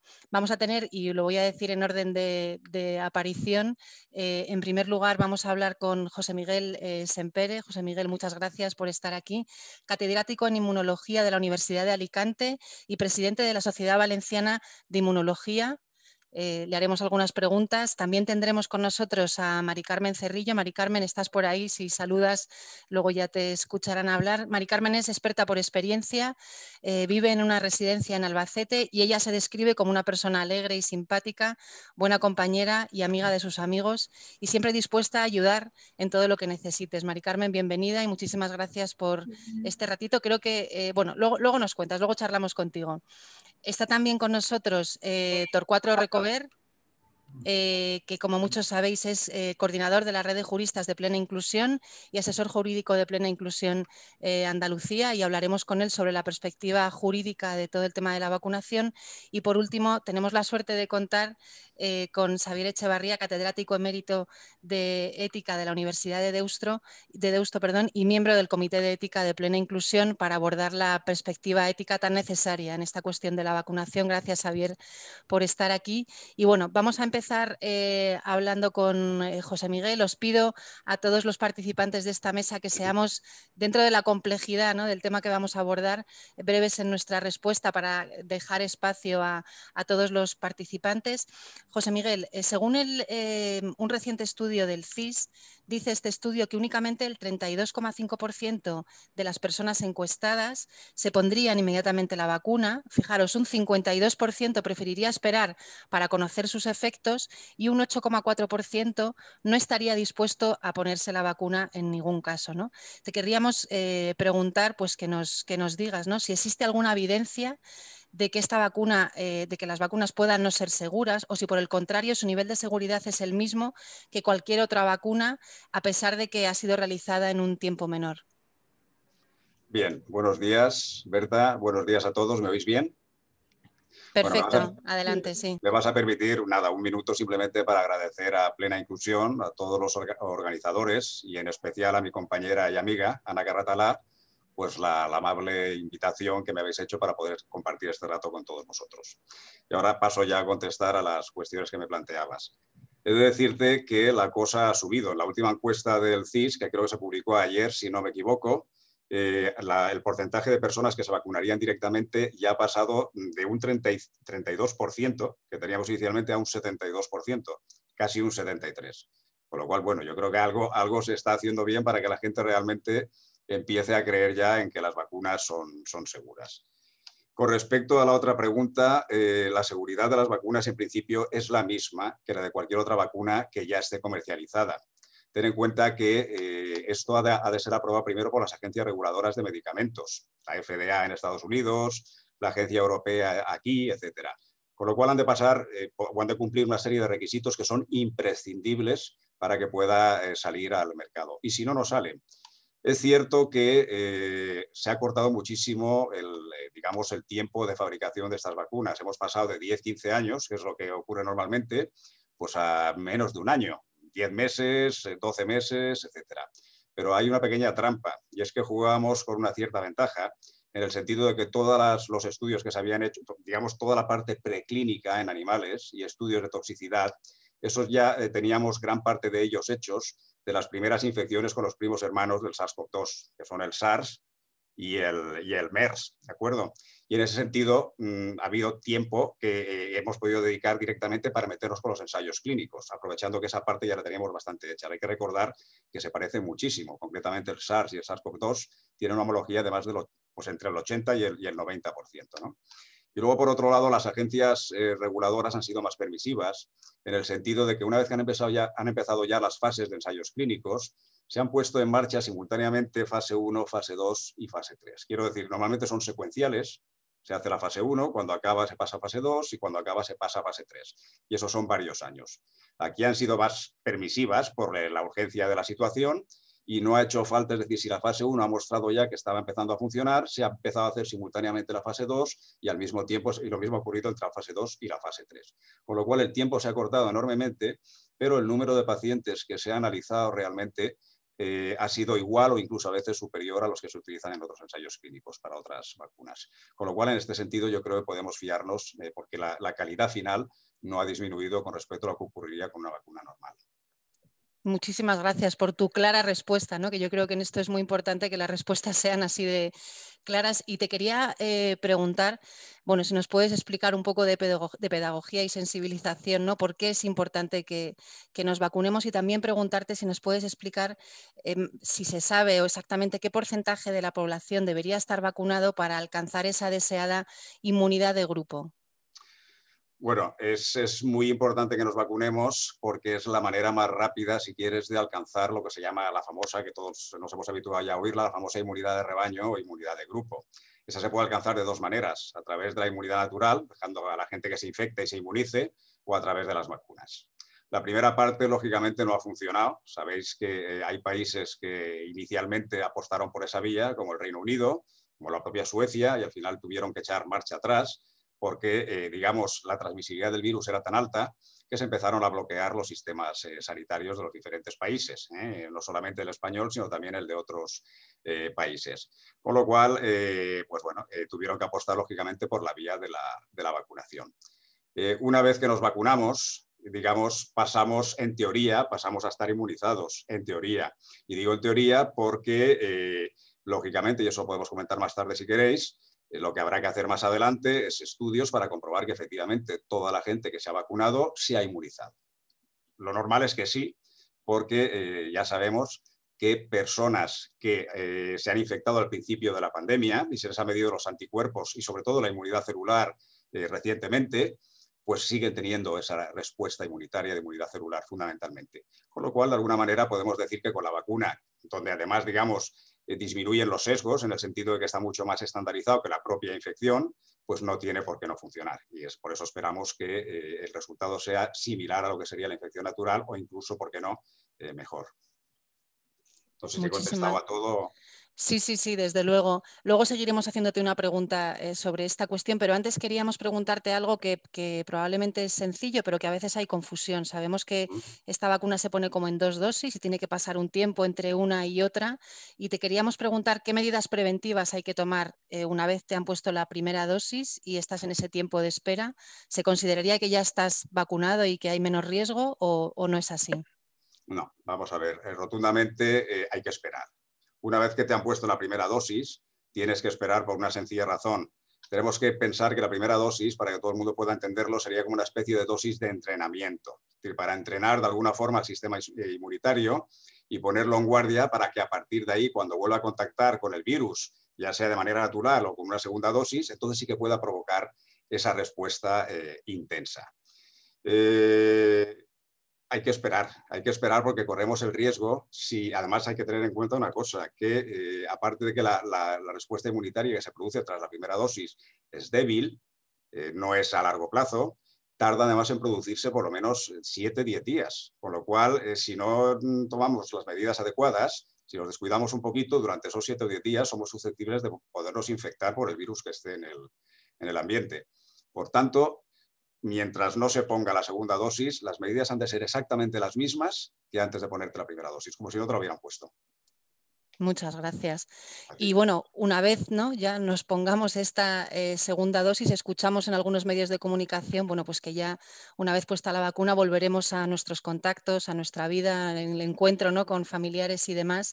Pero sí queríamos preguntarte ah, un poco que nos aclares esta cuestión. ¿Cuándo se podría considerar que una persona es inmune después de haberse administrado la vacuna?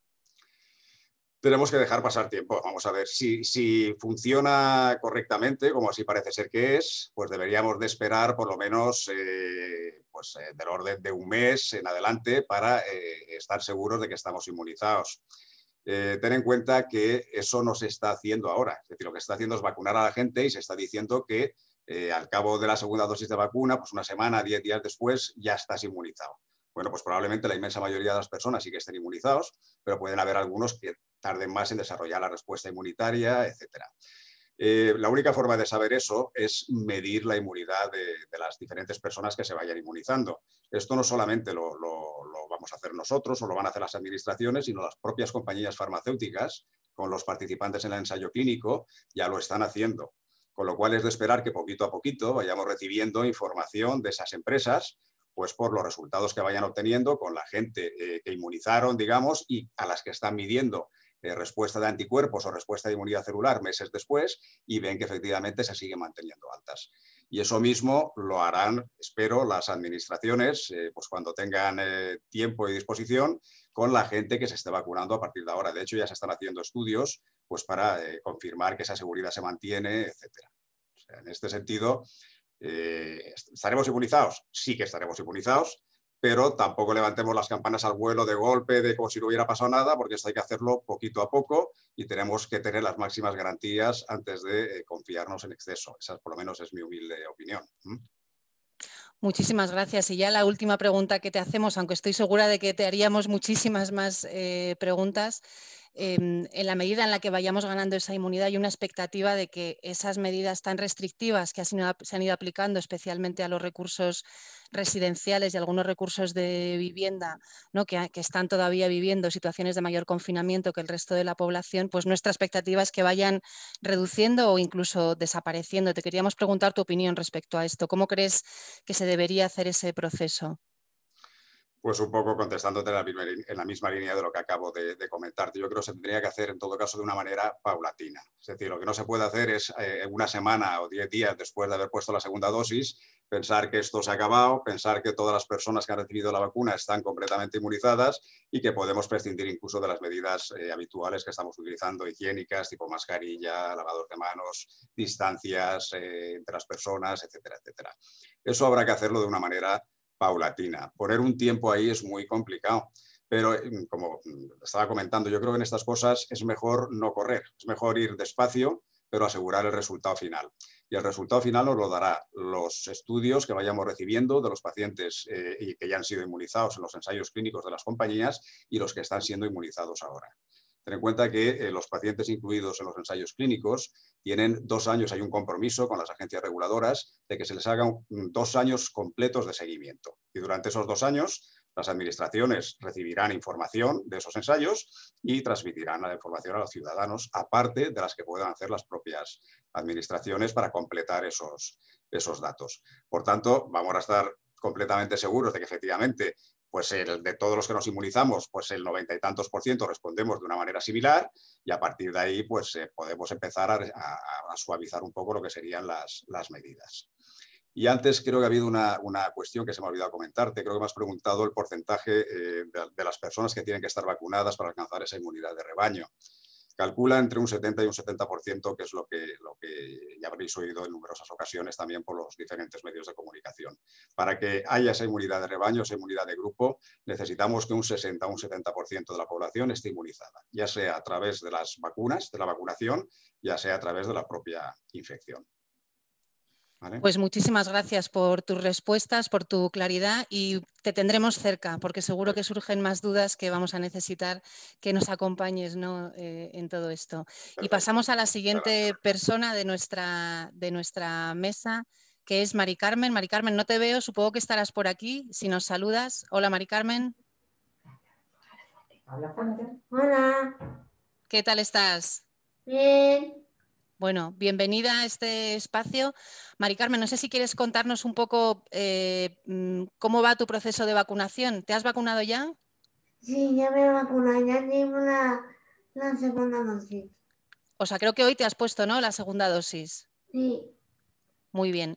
Mari Carmen, nos interesa mucho eh, saber cómo ha sido esto de decidir si te vacunabas o no te vacunabas. Te quería preguntar si fuiste tú quien tomaste la decisión de vacunarte. Eh, yo me quedaba con así. ¿Y tuviste alguna, tuviste alguna duda, Mari Carmen, cuando te dijeron si te querías vacunar? ¿Tuviste alguna duda o lo tuviste claro desde el principio? Dudaba por, mis padres. ¿Por qué dudabas por tus padres, Mari Carmen? Porque mis padres no decían que no. Mis padres me decían que no y yo quería vacunarme. y, yo es que estaba decidida a vacunarme.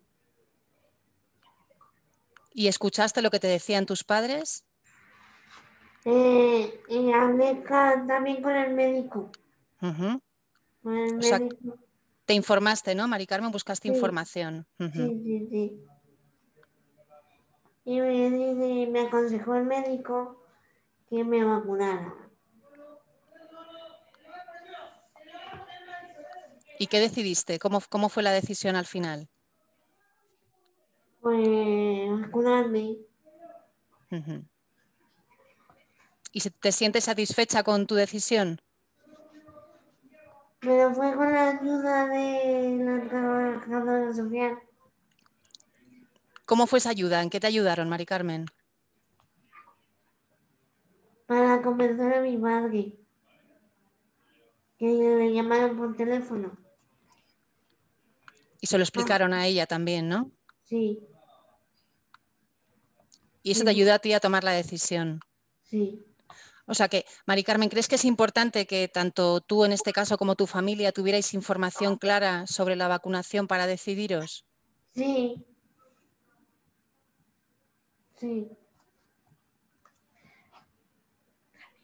Pues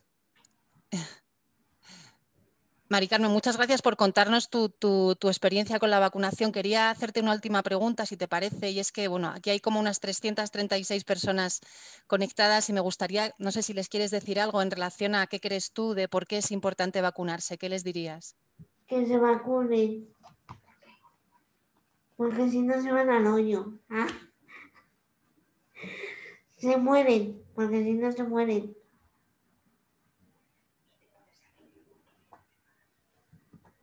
y la gente que no lleva mascarilla eh, es una irresponsable si no se pone mascarilla y madura si no se la pone. Y, y nos tenemos que proteger nosotros y a todo el mundo que se proteja. Protegerse una misma es también una manera de proteger a los demás, ¿verdad? Sí. Y que se pongan la vacuna. También. Que Muy se bien. pongan la vacuna. Pues Mari Carmen, muchísimas gracias por, este ratito y, quédate por aquí porque bueno, van a, van a, pasar a hablar ahora compañeros que seguro que te interesa mucho eh, conocer qué es lo que nos van a contar. Muchas gracias, Mari Carmen. Pues pasamos, gracias. Pasamos ahora a hablar con Torcuato Recover, que estarás por aquí también. Si te activas la cámara y el micro te veremos. Torcuato, ¿qué tal? La cámara estaba, ¿no? La cámara ah, aquí estás. Ahora, ahora. Es que como somos tantos, de repente no te, no te veo. ¿Qué tal estás? Bien, bien, gracias. Bien. Agitado, pero estoy en Granada y por tanto, pues tembloroso. Tenéis movimientos extraños, ¿verdad? Sí, sí. Muy bien, Torcuato. Bueno, pues muchísimas gracias por, estar y por dedicarnos un ratito. Y te toca, ya sabes, la parte jurídica, la parte legal, que es tan relevante y tanto nos, importa ¿no? en estas decisiones tan difíciles. Lo primero que queríamos preguntarte es si nos, mm, si nos puedes explicar, eh, ¿vacunarse es, es voluntario o es legalmente obligatorio? No, está claro. Ahora mismo la vacunación es voluntaria. Lo establece tanto los planes de vacunación del gobierno central como los de las comunidades autónomas y la legislación, incluso no hay ninguna legislación sanitaria que establezca que la vacunación sea absolutamente obligatoria. Habría que decir también quizá el matiz de que la legislación preexistente, la verdad es que no estaba prevista para una situación como de pandemia como la que tenemos, la ley de autonomía del paciente, el resto de las disposiciones legales no tenían un escenario, no habían previsto un escenario como el que estamos viviendo, pero ciertamente esta es la legislación vigente. Y, en los planes de vacunaciones, tanto el de gobierno central como los que conozco de algunas comunidades autónomas, lógicamente reitera el carácter voluntario de la vacunación. Muchas gracias. Bueno, pues siendo así, claro, eso abre eh, una complejidad de situaciones que se están dando en, diferentes eh, organizaciones. Entonces, te queríamos preguntar por, por, algunas de estas situaciones, ¿no? no todas porque son probablemente diversas y complejas, pero, pero algunas de estas situaciones. Eh, por ejemplo, una, ¿no? Si un trabajador o una trabajadora se niega a vacunarse y por tanto pues puede estar poniendo en riesgo a las personas a las que apoya, compañeros, etcétera, ¿el derecho nos aporta alguna solución ante esta situación? Esa es la situación quizás más delicada. Por eso mismo que te decía antes de que la legislación actual eh, realmente no tiene la previsión de este escenario. ¿eh? Eh, con, la normativa legal que regula las relaciones laborales, el Estatuto de los Trabajadores, los convenios colectivos y tal, quizás no habría una base para poder obligar. Ahora bien, hay una obligación ético-jurídica de los trabajadores, ¿no? que no es solamente la de desempeñar el trabajo, sino la de cuidar el entorno en el que están realizando y en nuestro caso, ya que estamos hablando de personas con discapacidad y de que el trabajo que se realiza no es precisamente de prestación de servicio a personas que en muchos casos son especialmente, en algunos casos al menos, son más vulnerables, la obligación del trabajador incluso es superior a la de que podría ser un trabajo al uso, ¿no? de que podría realizar una relación laboral normal. Por tanto, el, cabría exigir al trabajador, primero hay siempre una posición de, apoyo, ¿no? de expresar, como señalaba ahí antes, efectivamente la población ha cambiado mucho de opinión. En la última encuesta está dando, señalaba José Miguel anteriormente, que ya los datos son de mayoritario de, acceder a la vacunación, pero todavía hay gente eh, negacionista o gente que, que bueno, están en su derecho también, ciertamente, de mantener opiniones personales, ¿no? pero aún así hay una obligación ético-jurídica también en ese aspecto. Y por tanto, yo creo que habría instrumentos, habría instrumentos, el propio convenio colectivo de nuestro sector, el 15 convenio colectivo de atención a centros de personas con discapacidad, o mejor, bueno, eh, no sabemos de lo que estoy diciendo, que haya liado las palabras. establece como falta, sancionable, por tanto, la, aquellas que supongan detrimento, que vayan en perjuicio de las personas con discapacidad, con lo que se podría utilizar el régimen sancionador.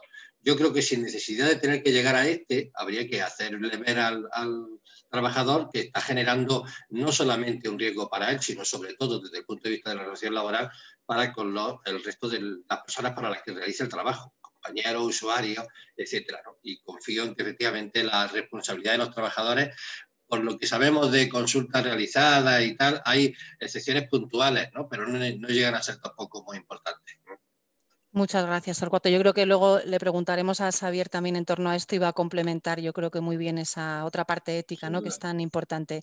Te quería, hacer, te quería hacer otra, otra pregunta de otra, otro tipo de situación que también nos preocupa porque sabemos que se está dando y nos lo estaba contando ahora eh, Mari Carmen. En el supuesto de que una persona con discapacidad quiera vacunarse, pero su representante legal no quiera que se vacune, ¿Qué, podríamos hacer? ¿Qué, nos dices a nivel jurídico en relación a esa situación? A ver, ahí habría, desde un punto de vista muy estricto de aplicación, habría dos planos, ¿no? Habría que partir de la situación de si estamos hablando de una persona que esté incapacitada judicialmente, en la que se hayan dictado una sentencia judicial, en la que eh, todavía nos quedaría el matiz de si tenemos una incapacidad plena una incapacidad parcial. Si estuviésemos ante una incapacidad plena, la resolución establece lógicamente que la persona que ha de prestar apoyos, que ha de tomar las decisiones en función de él, tendrá que ser pues, los padres si tienen la patria potestad prorrogada o el tutor en su caso. Aún así, la buena praxis sería efectivamente primero eh, darle los apoyos personales a la propia persona y procurar que la propia persona, la persona a la que se le va a realizar la vacunación, en nuestro caso la persona con discapacidad, comprenda, como lo decía antes Mari Carmen, que es conveniente para ella misma y para los demás, pero en primer lugar para ella misma, acceder a la vacunación que sea una decisión de ella, que la adopte ella. Yo, mm, en, línea con lo que desde Plena sostenemos siempre en aplicación de la Convención, estaría en que procuramos no sustituir a la persona, incluso aunque haya una incapacidad plena, no ponernos en su lugar y tomar la decisión por ella, ¿no? sino procurar que sea ella la que participe en la decisión. En aquellos casos en los que sea imposible que pueda tomar las opciones, pues lógicamente en beneficio de ella, el, el que le corresponda habrá de hacerlo, pero habrá que procurar efectivamente prestarle apoyo para que pueda participar en la decisión. Si de ninguna manera eh, pudiera efectivamente y existiera esta determinación de que sean los padres en el caso de que haya prórroga de la patria potestad, pues efectivamente también facilitar estos apoyo a ellos para que entiendan la situación. El caso de Mari Carmen parecía muy explícito, ¿no? Se, se, decía, la trabajadora social de mi entidad ha hablado con ellos para explicarle y tal, porque efectivamente incluso aunque no hubiese necesidad jurídica, podríamos decir, porque no fuesen los tutores o no hubiese sentencia de incapacidad, como parece que era el caso de Mari Carmen, que, no, quizá no la hubiera, eh, el, apoyo personal, familiar que le podía prestar el entorno como referente, pues también era fundamental, incluso para hacerle dudar a ella de su voluntad. Por lo tanto, esa obligación de la, de la entidad, de la, asociación en la que está, de, las personas que le ayudan, esas cosas, de prestarle apoyo y a, a ellos y a su propio entorno, de ofrecerle información adecuada, es fundamental. Pues aunque, Torcuato, muchas gracias. Aunque ya en tu respuesta has contestado a mi siguiente y última pregunta, no quiero dejar de hacértela, sobre todo por, por darle este espacio a esas personas que sabéis que es un porcentaje importante eh, que no van a poder expresar ¿no? Eh, si, quieren o no quieren eh, vacunarse o qué opinan en relación a, a, la vacuna, porque son personas que tienen grandes necesidades de apoyo. En estas situaciones, en estos casos, ¿qué recomendaciones podríamos tener para hacer esa mejor interpretación posible de su voluntad y preferencias? Pues obviamente, eh, como estáis diciendo ahí, la, necesidad de la vacuna, el acceso a la vacuna tiene dos planos, ¿no? que es el, interés de la propia persona, la mejora de la propia persona, la preservación de la salud y, por, el siguiente contexto sería la preservación también del contexto del resto de las personas. Por tanto, esa debe ser la consideración a la hora de tomar la decisión. No estamos hablando de una decisión que podría ser pues enormemente discutible, sino partiendo de la base científica de lo que antes señalaba José Miguel, de la validez de las vacunas, de la conveniencia, de la necesidad, etcétera, a la hora de adoptar esa decisión en el caso em, casi eh, que ya no hubiera otra opción, que haya que efectivamente sustituir a la persona, pues supone efectivamente que lo que estamos haciendo es una mejora evidente para ella. Estamos garantizándole su salud. Maricarmen lo decía con mucha claridad, o esto o puede acabar en el hoyo. ¿no? Entonces, pues, pues, lógicamente la, decisión es evidente. Por tanto, quien haya de realizarla lo hace teniendo en cuenta efectivamente su voluntad. ¿Su voluntad cuál sería? La de preservar mi propia salud, la de no hacer nada que sea negativo para mí. De la misma manera que no voy a tomar un veneno, tampoco voy a dejar que me haga algo o que, me llegue algo que me pueda dañar efectivamente mi salud. Y, desde ese criterio, el tomar la decisión por él cuando sea imprescindible, pues sería perfectamente admisible. Pues muchísimas gracias, Torguato, por tus eh, respuestas. Gracias. Pasamos ya a la última parte y tengo que decir, no menos importante, Xavier, de, de, esta mesa. Yo creo que en estas cuestiones ¿no? y en estas controversias que hay en relación a la vacunación, la ética pone luz seguro, estamos seguros, y hay que utilizar ¿no? y poner en práctica eh, la ética para poder encontrar la mejor respuesta posible. Entonces, tengo como tres preguntas más o menos, pero si te parece, como están muy relacionadas, te voy a hacer las tres preguntas seguidas para que tú nos, hagas un poco esta propuesta ¿no? de qué nos puede, eh, qué nos aporta seguro la ética a estas, a estas preguntas ¿no? y este tema de la vacuna. Entonces, eh, las preguntas serían, y si queréis los que estáis escuchando apuntar para luego irlas entendiendo, pues, eh, pues fantástico. ¿no? La idea sería primero preguntarte que, como decíamos a Torcuato, aunque vacunarse es voluntario, ¿qué podríamos decir? O sea, ¿podríamos decir que es voluntario éticamente? Bueno, que nos des ahí alguna, alguna pista. Igualmente también te queríamos preguntar qué se le podría decir a una persona que vive eh, en un contexto residencial o que trabaja en un contexto residencial o que convive en un espacio, en un lugar donde hay mucha gente junta eh, en relación a la vacunación. Y la última pregunta es si nos podrías dar alguna pauta, alguna recomendación o alguna guía sobre cómo resolver conflictos en los que exista una diferencia de opinión, como veíamos con Torcuato, sobre la vacunación entre la voluntad de la persona con discapacidad intelectual y el desarrollo y lo que opina la familia y el representante legal. Sin más, eh, Xavier, te dejamos tiempo para que nos respondas. Muchísimas gracias. Gracias, Berta. Entonces voy a tratar de responder a las preguntas que formulas. Son amplias, pero trataré de sintetizarme lo que pueda. Respecto a la primera pregunta, que recuerdo que si desde el punto de vista ético el vacunarse es voluntario o no, hay que distinguir dos vertientes en la ética. Tenemos la vertiente de la vida feliz, ética para la vida feliz, y la vertiente del deber. Entonces, respecto al tema de la obligatoriedad o no de la vacuna, nos situamos no meramente en la ética felicitante, sino en la ética normativa. La ética felicitante tiene una pregunta. ¿Qué me conviene hacer para mi felicidad, para mi vida lograda? Y yo ahí tengo la respuesta que me satisfaga y tengo derecho a realizarla. Ahora bien, eh, digamos que la vacuna estaría dentro de la perspectiva felicitante si vacunarme o no solo me afectara a mí, solo afectara a mi salud. Pero resulta que eh, la vacuna no solo me afecta a mí, afecta también a la salud de los demás. Al ser una enfermedad, digamos, la COVID concretamente es una enfermedad contagiosa y entonces la vacuna afecta también al conjunto de la sociedad y por tanto a lo que nos debemos unos a otros. Y eso hace que nos situemos en la vertiente eh, normativa de la ética en la vertiente que se pregunta qué debo hacer pensando no solo en mí, sino en el bien de los demás. Entonces, vacunarnos o no desde este punto de vista no es solo algo personal, tiene que ver con un deber cívico.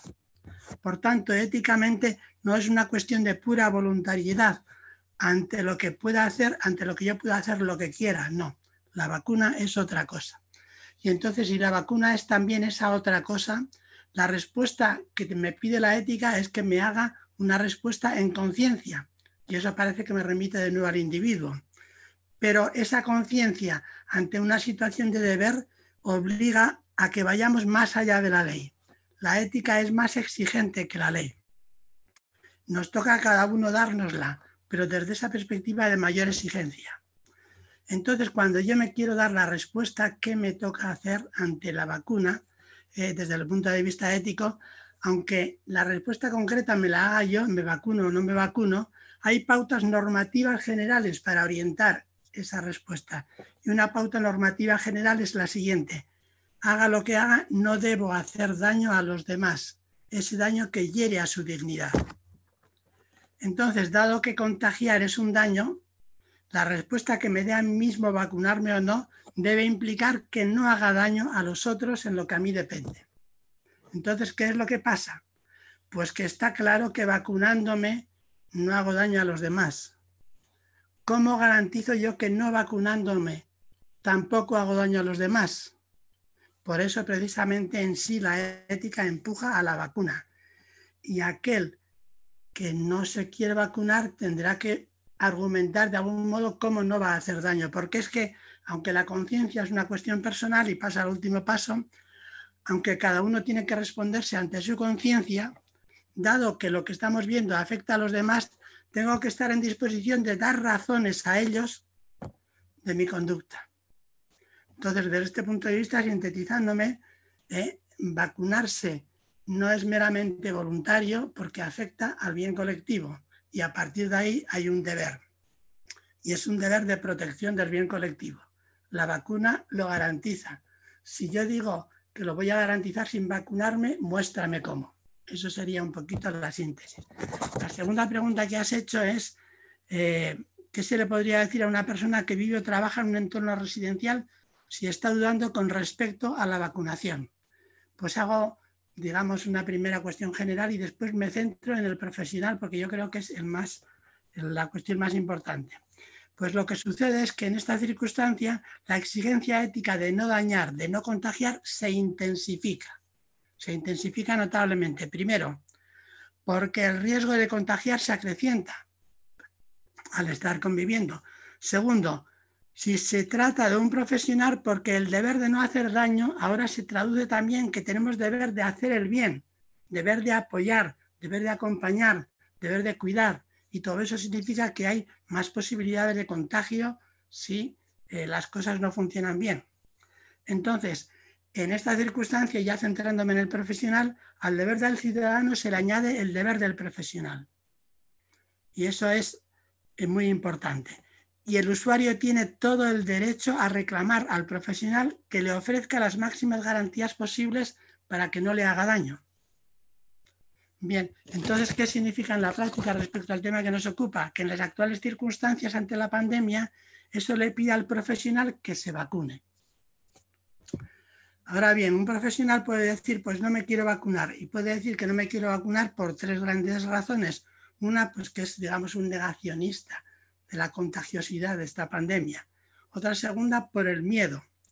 Pues bien, estas dos primeras argumentaciones, digamos, son argumentaciones que se rebaten desde la ciencia y desde la praxis. Y como nos ha explicado pues antes Sempere.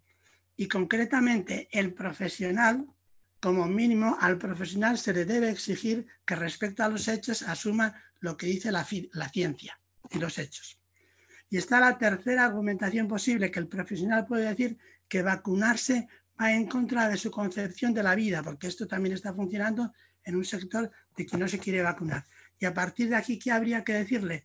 Pues que es legítimo que él tenga esa concepción de la vida y a partir de ahí es legítimo que él trate de vivirla, pero teniendo presente que desde el punto de vista ético la concepción de vida que tiene que ver con la vertiente felicitante no puede dañar a la concepción que tiene que ver con la vertiente normativa.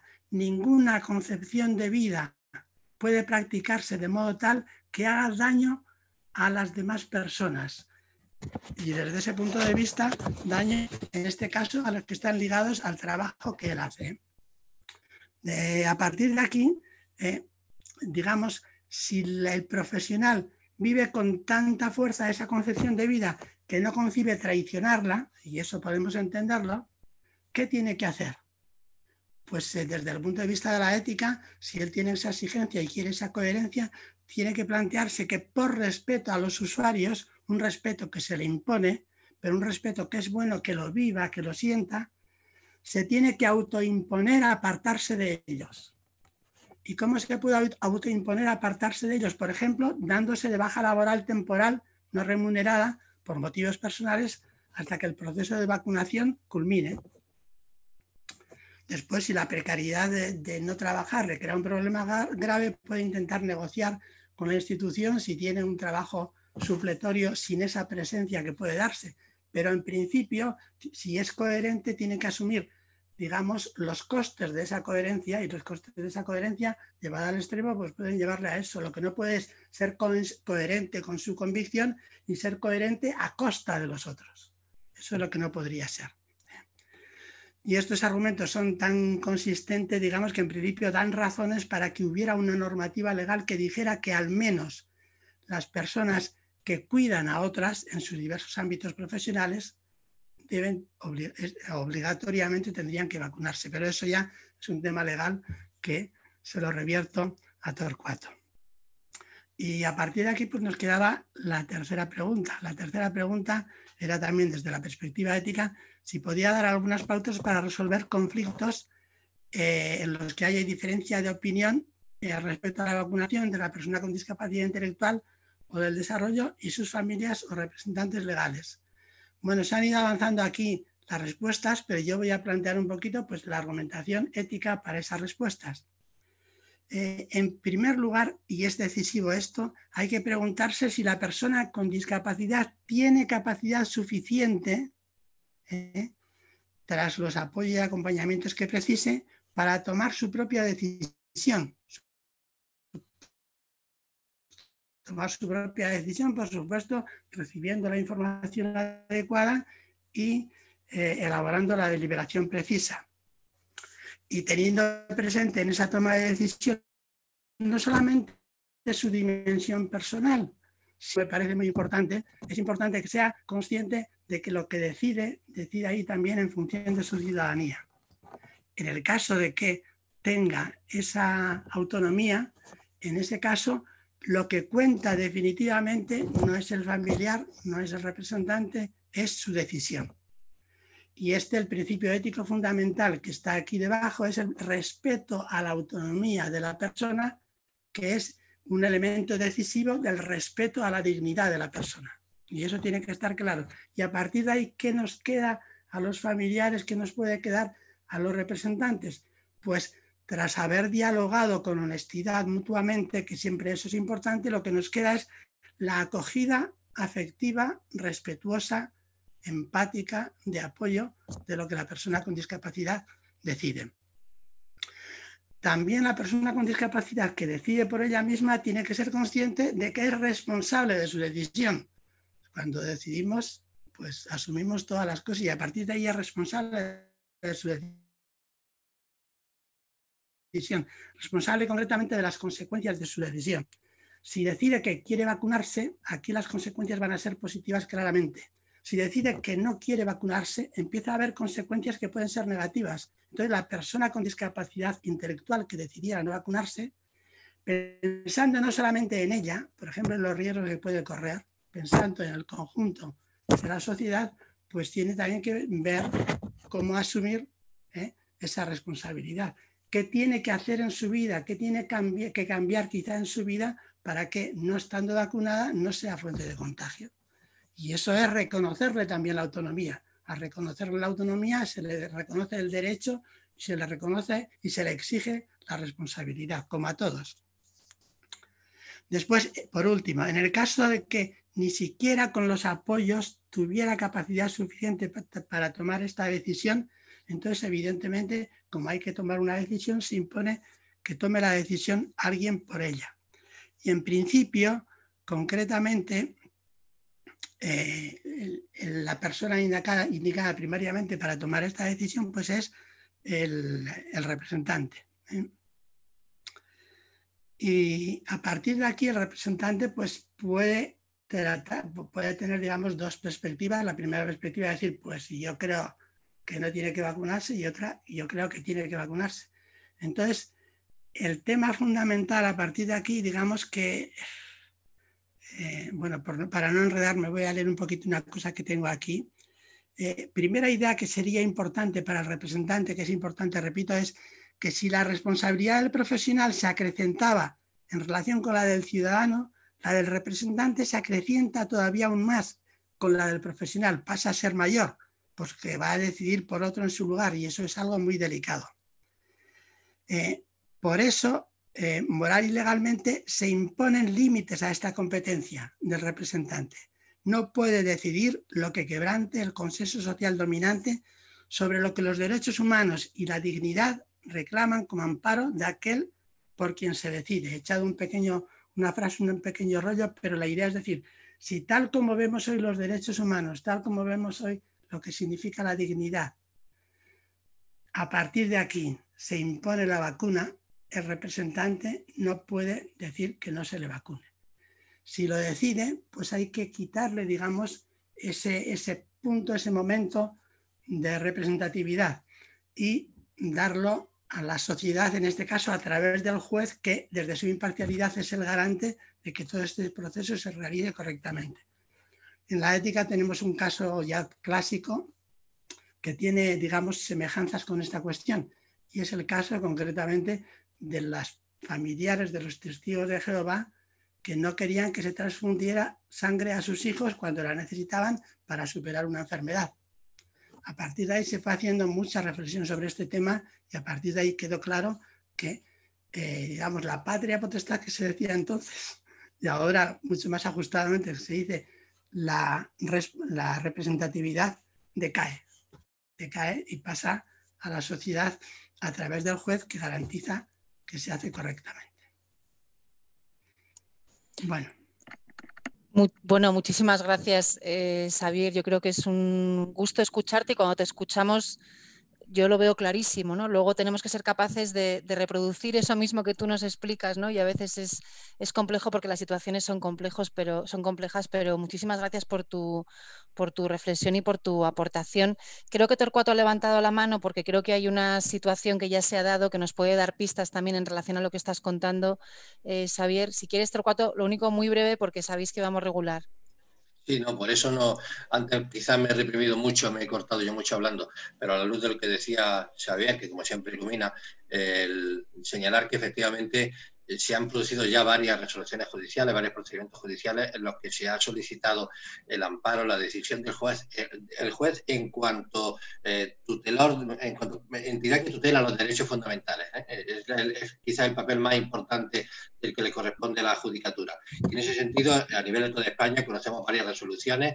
La mayor parte de ellas eran con personas mayores, pero hay también algunas de una entidad de personas con discapacidad, en mi ámbito, en Andalucía, en la que había divergencia de la familia o persona no incapacitada y la familia que sostenía eh, la negativa a la vacunación. El juez, y además en un procedimiento que ha sido muy rápido, que ha sido muy, muy certero y que ha actuado con enorme urgencia y muy bien, justificaba aplicando prácticamente los argumentos que estamos sosteniendo aquí y que ahora sintetizaba Por tanto, en caso de duda, pues efectivamente el camino está ahí. ¿eh? Lo podemos hacer con los asesores jurídicos, lo podemos hacer con la Fiscalía y se puede acceder a esto.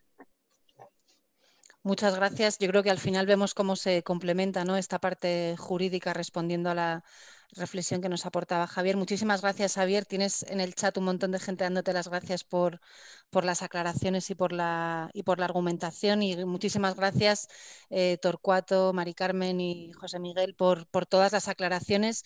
Yo estoy segura, de, no he mirado el chat, pero estoy segura de que habrá más preguntas. Intentaremos ver cómo enviaros las respuestas, porque entiendo que son eh, cuestiones relevantes. Y bueno, recalcar el agradecimiento a, a las personas que habéis estado en la mesa y si os parece, paso ya la palabra a mi compañera Sofía para la tercera parte de este seminario. Un fuerte abrazo a todas.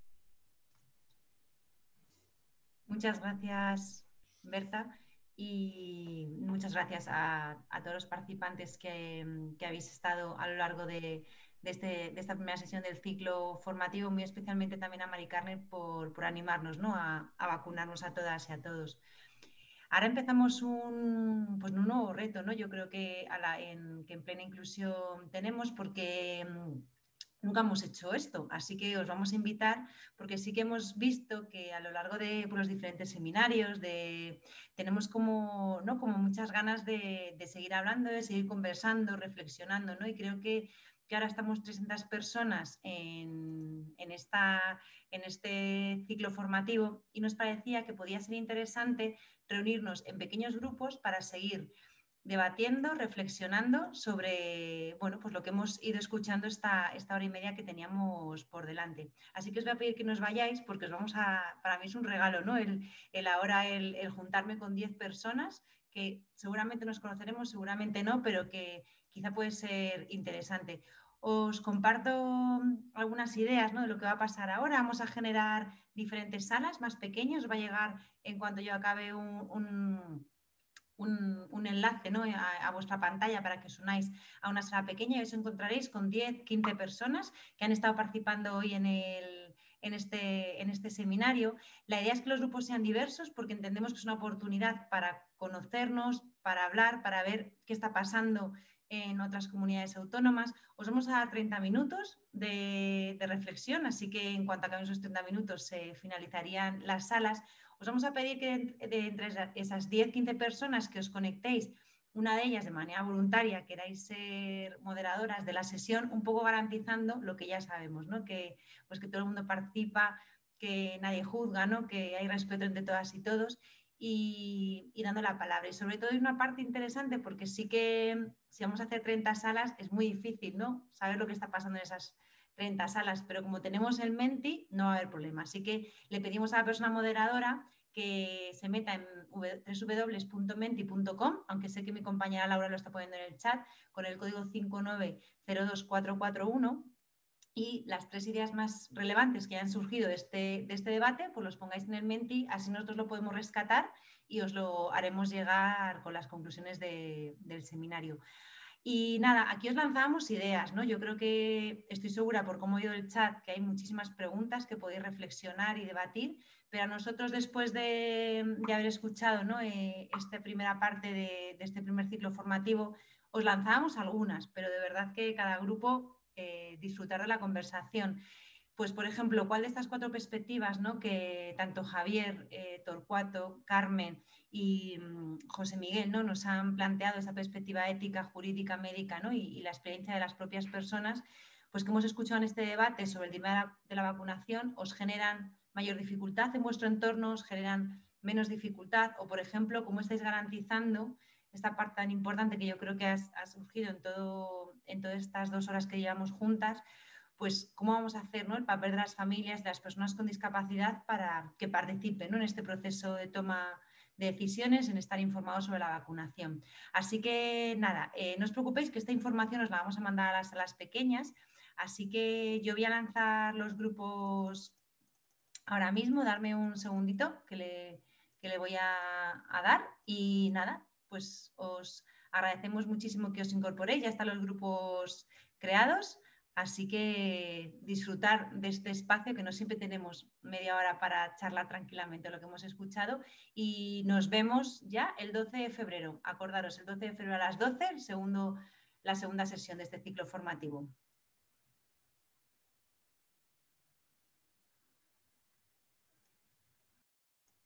La propuesta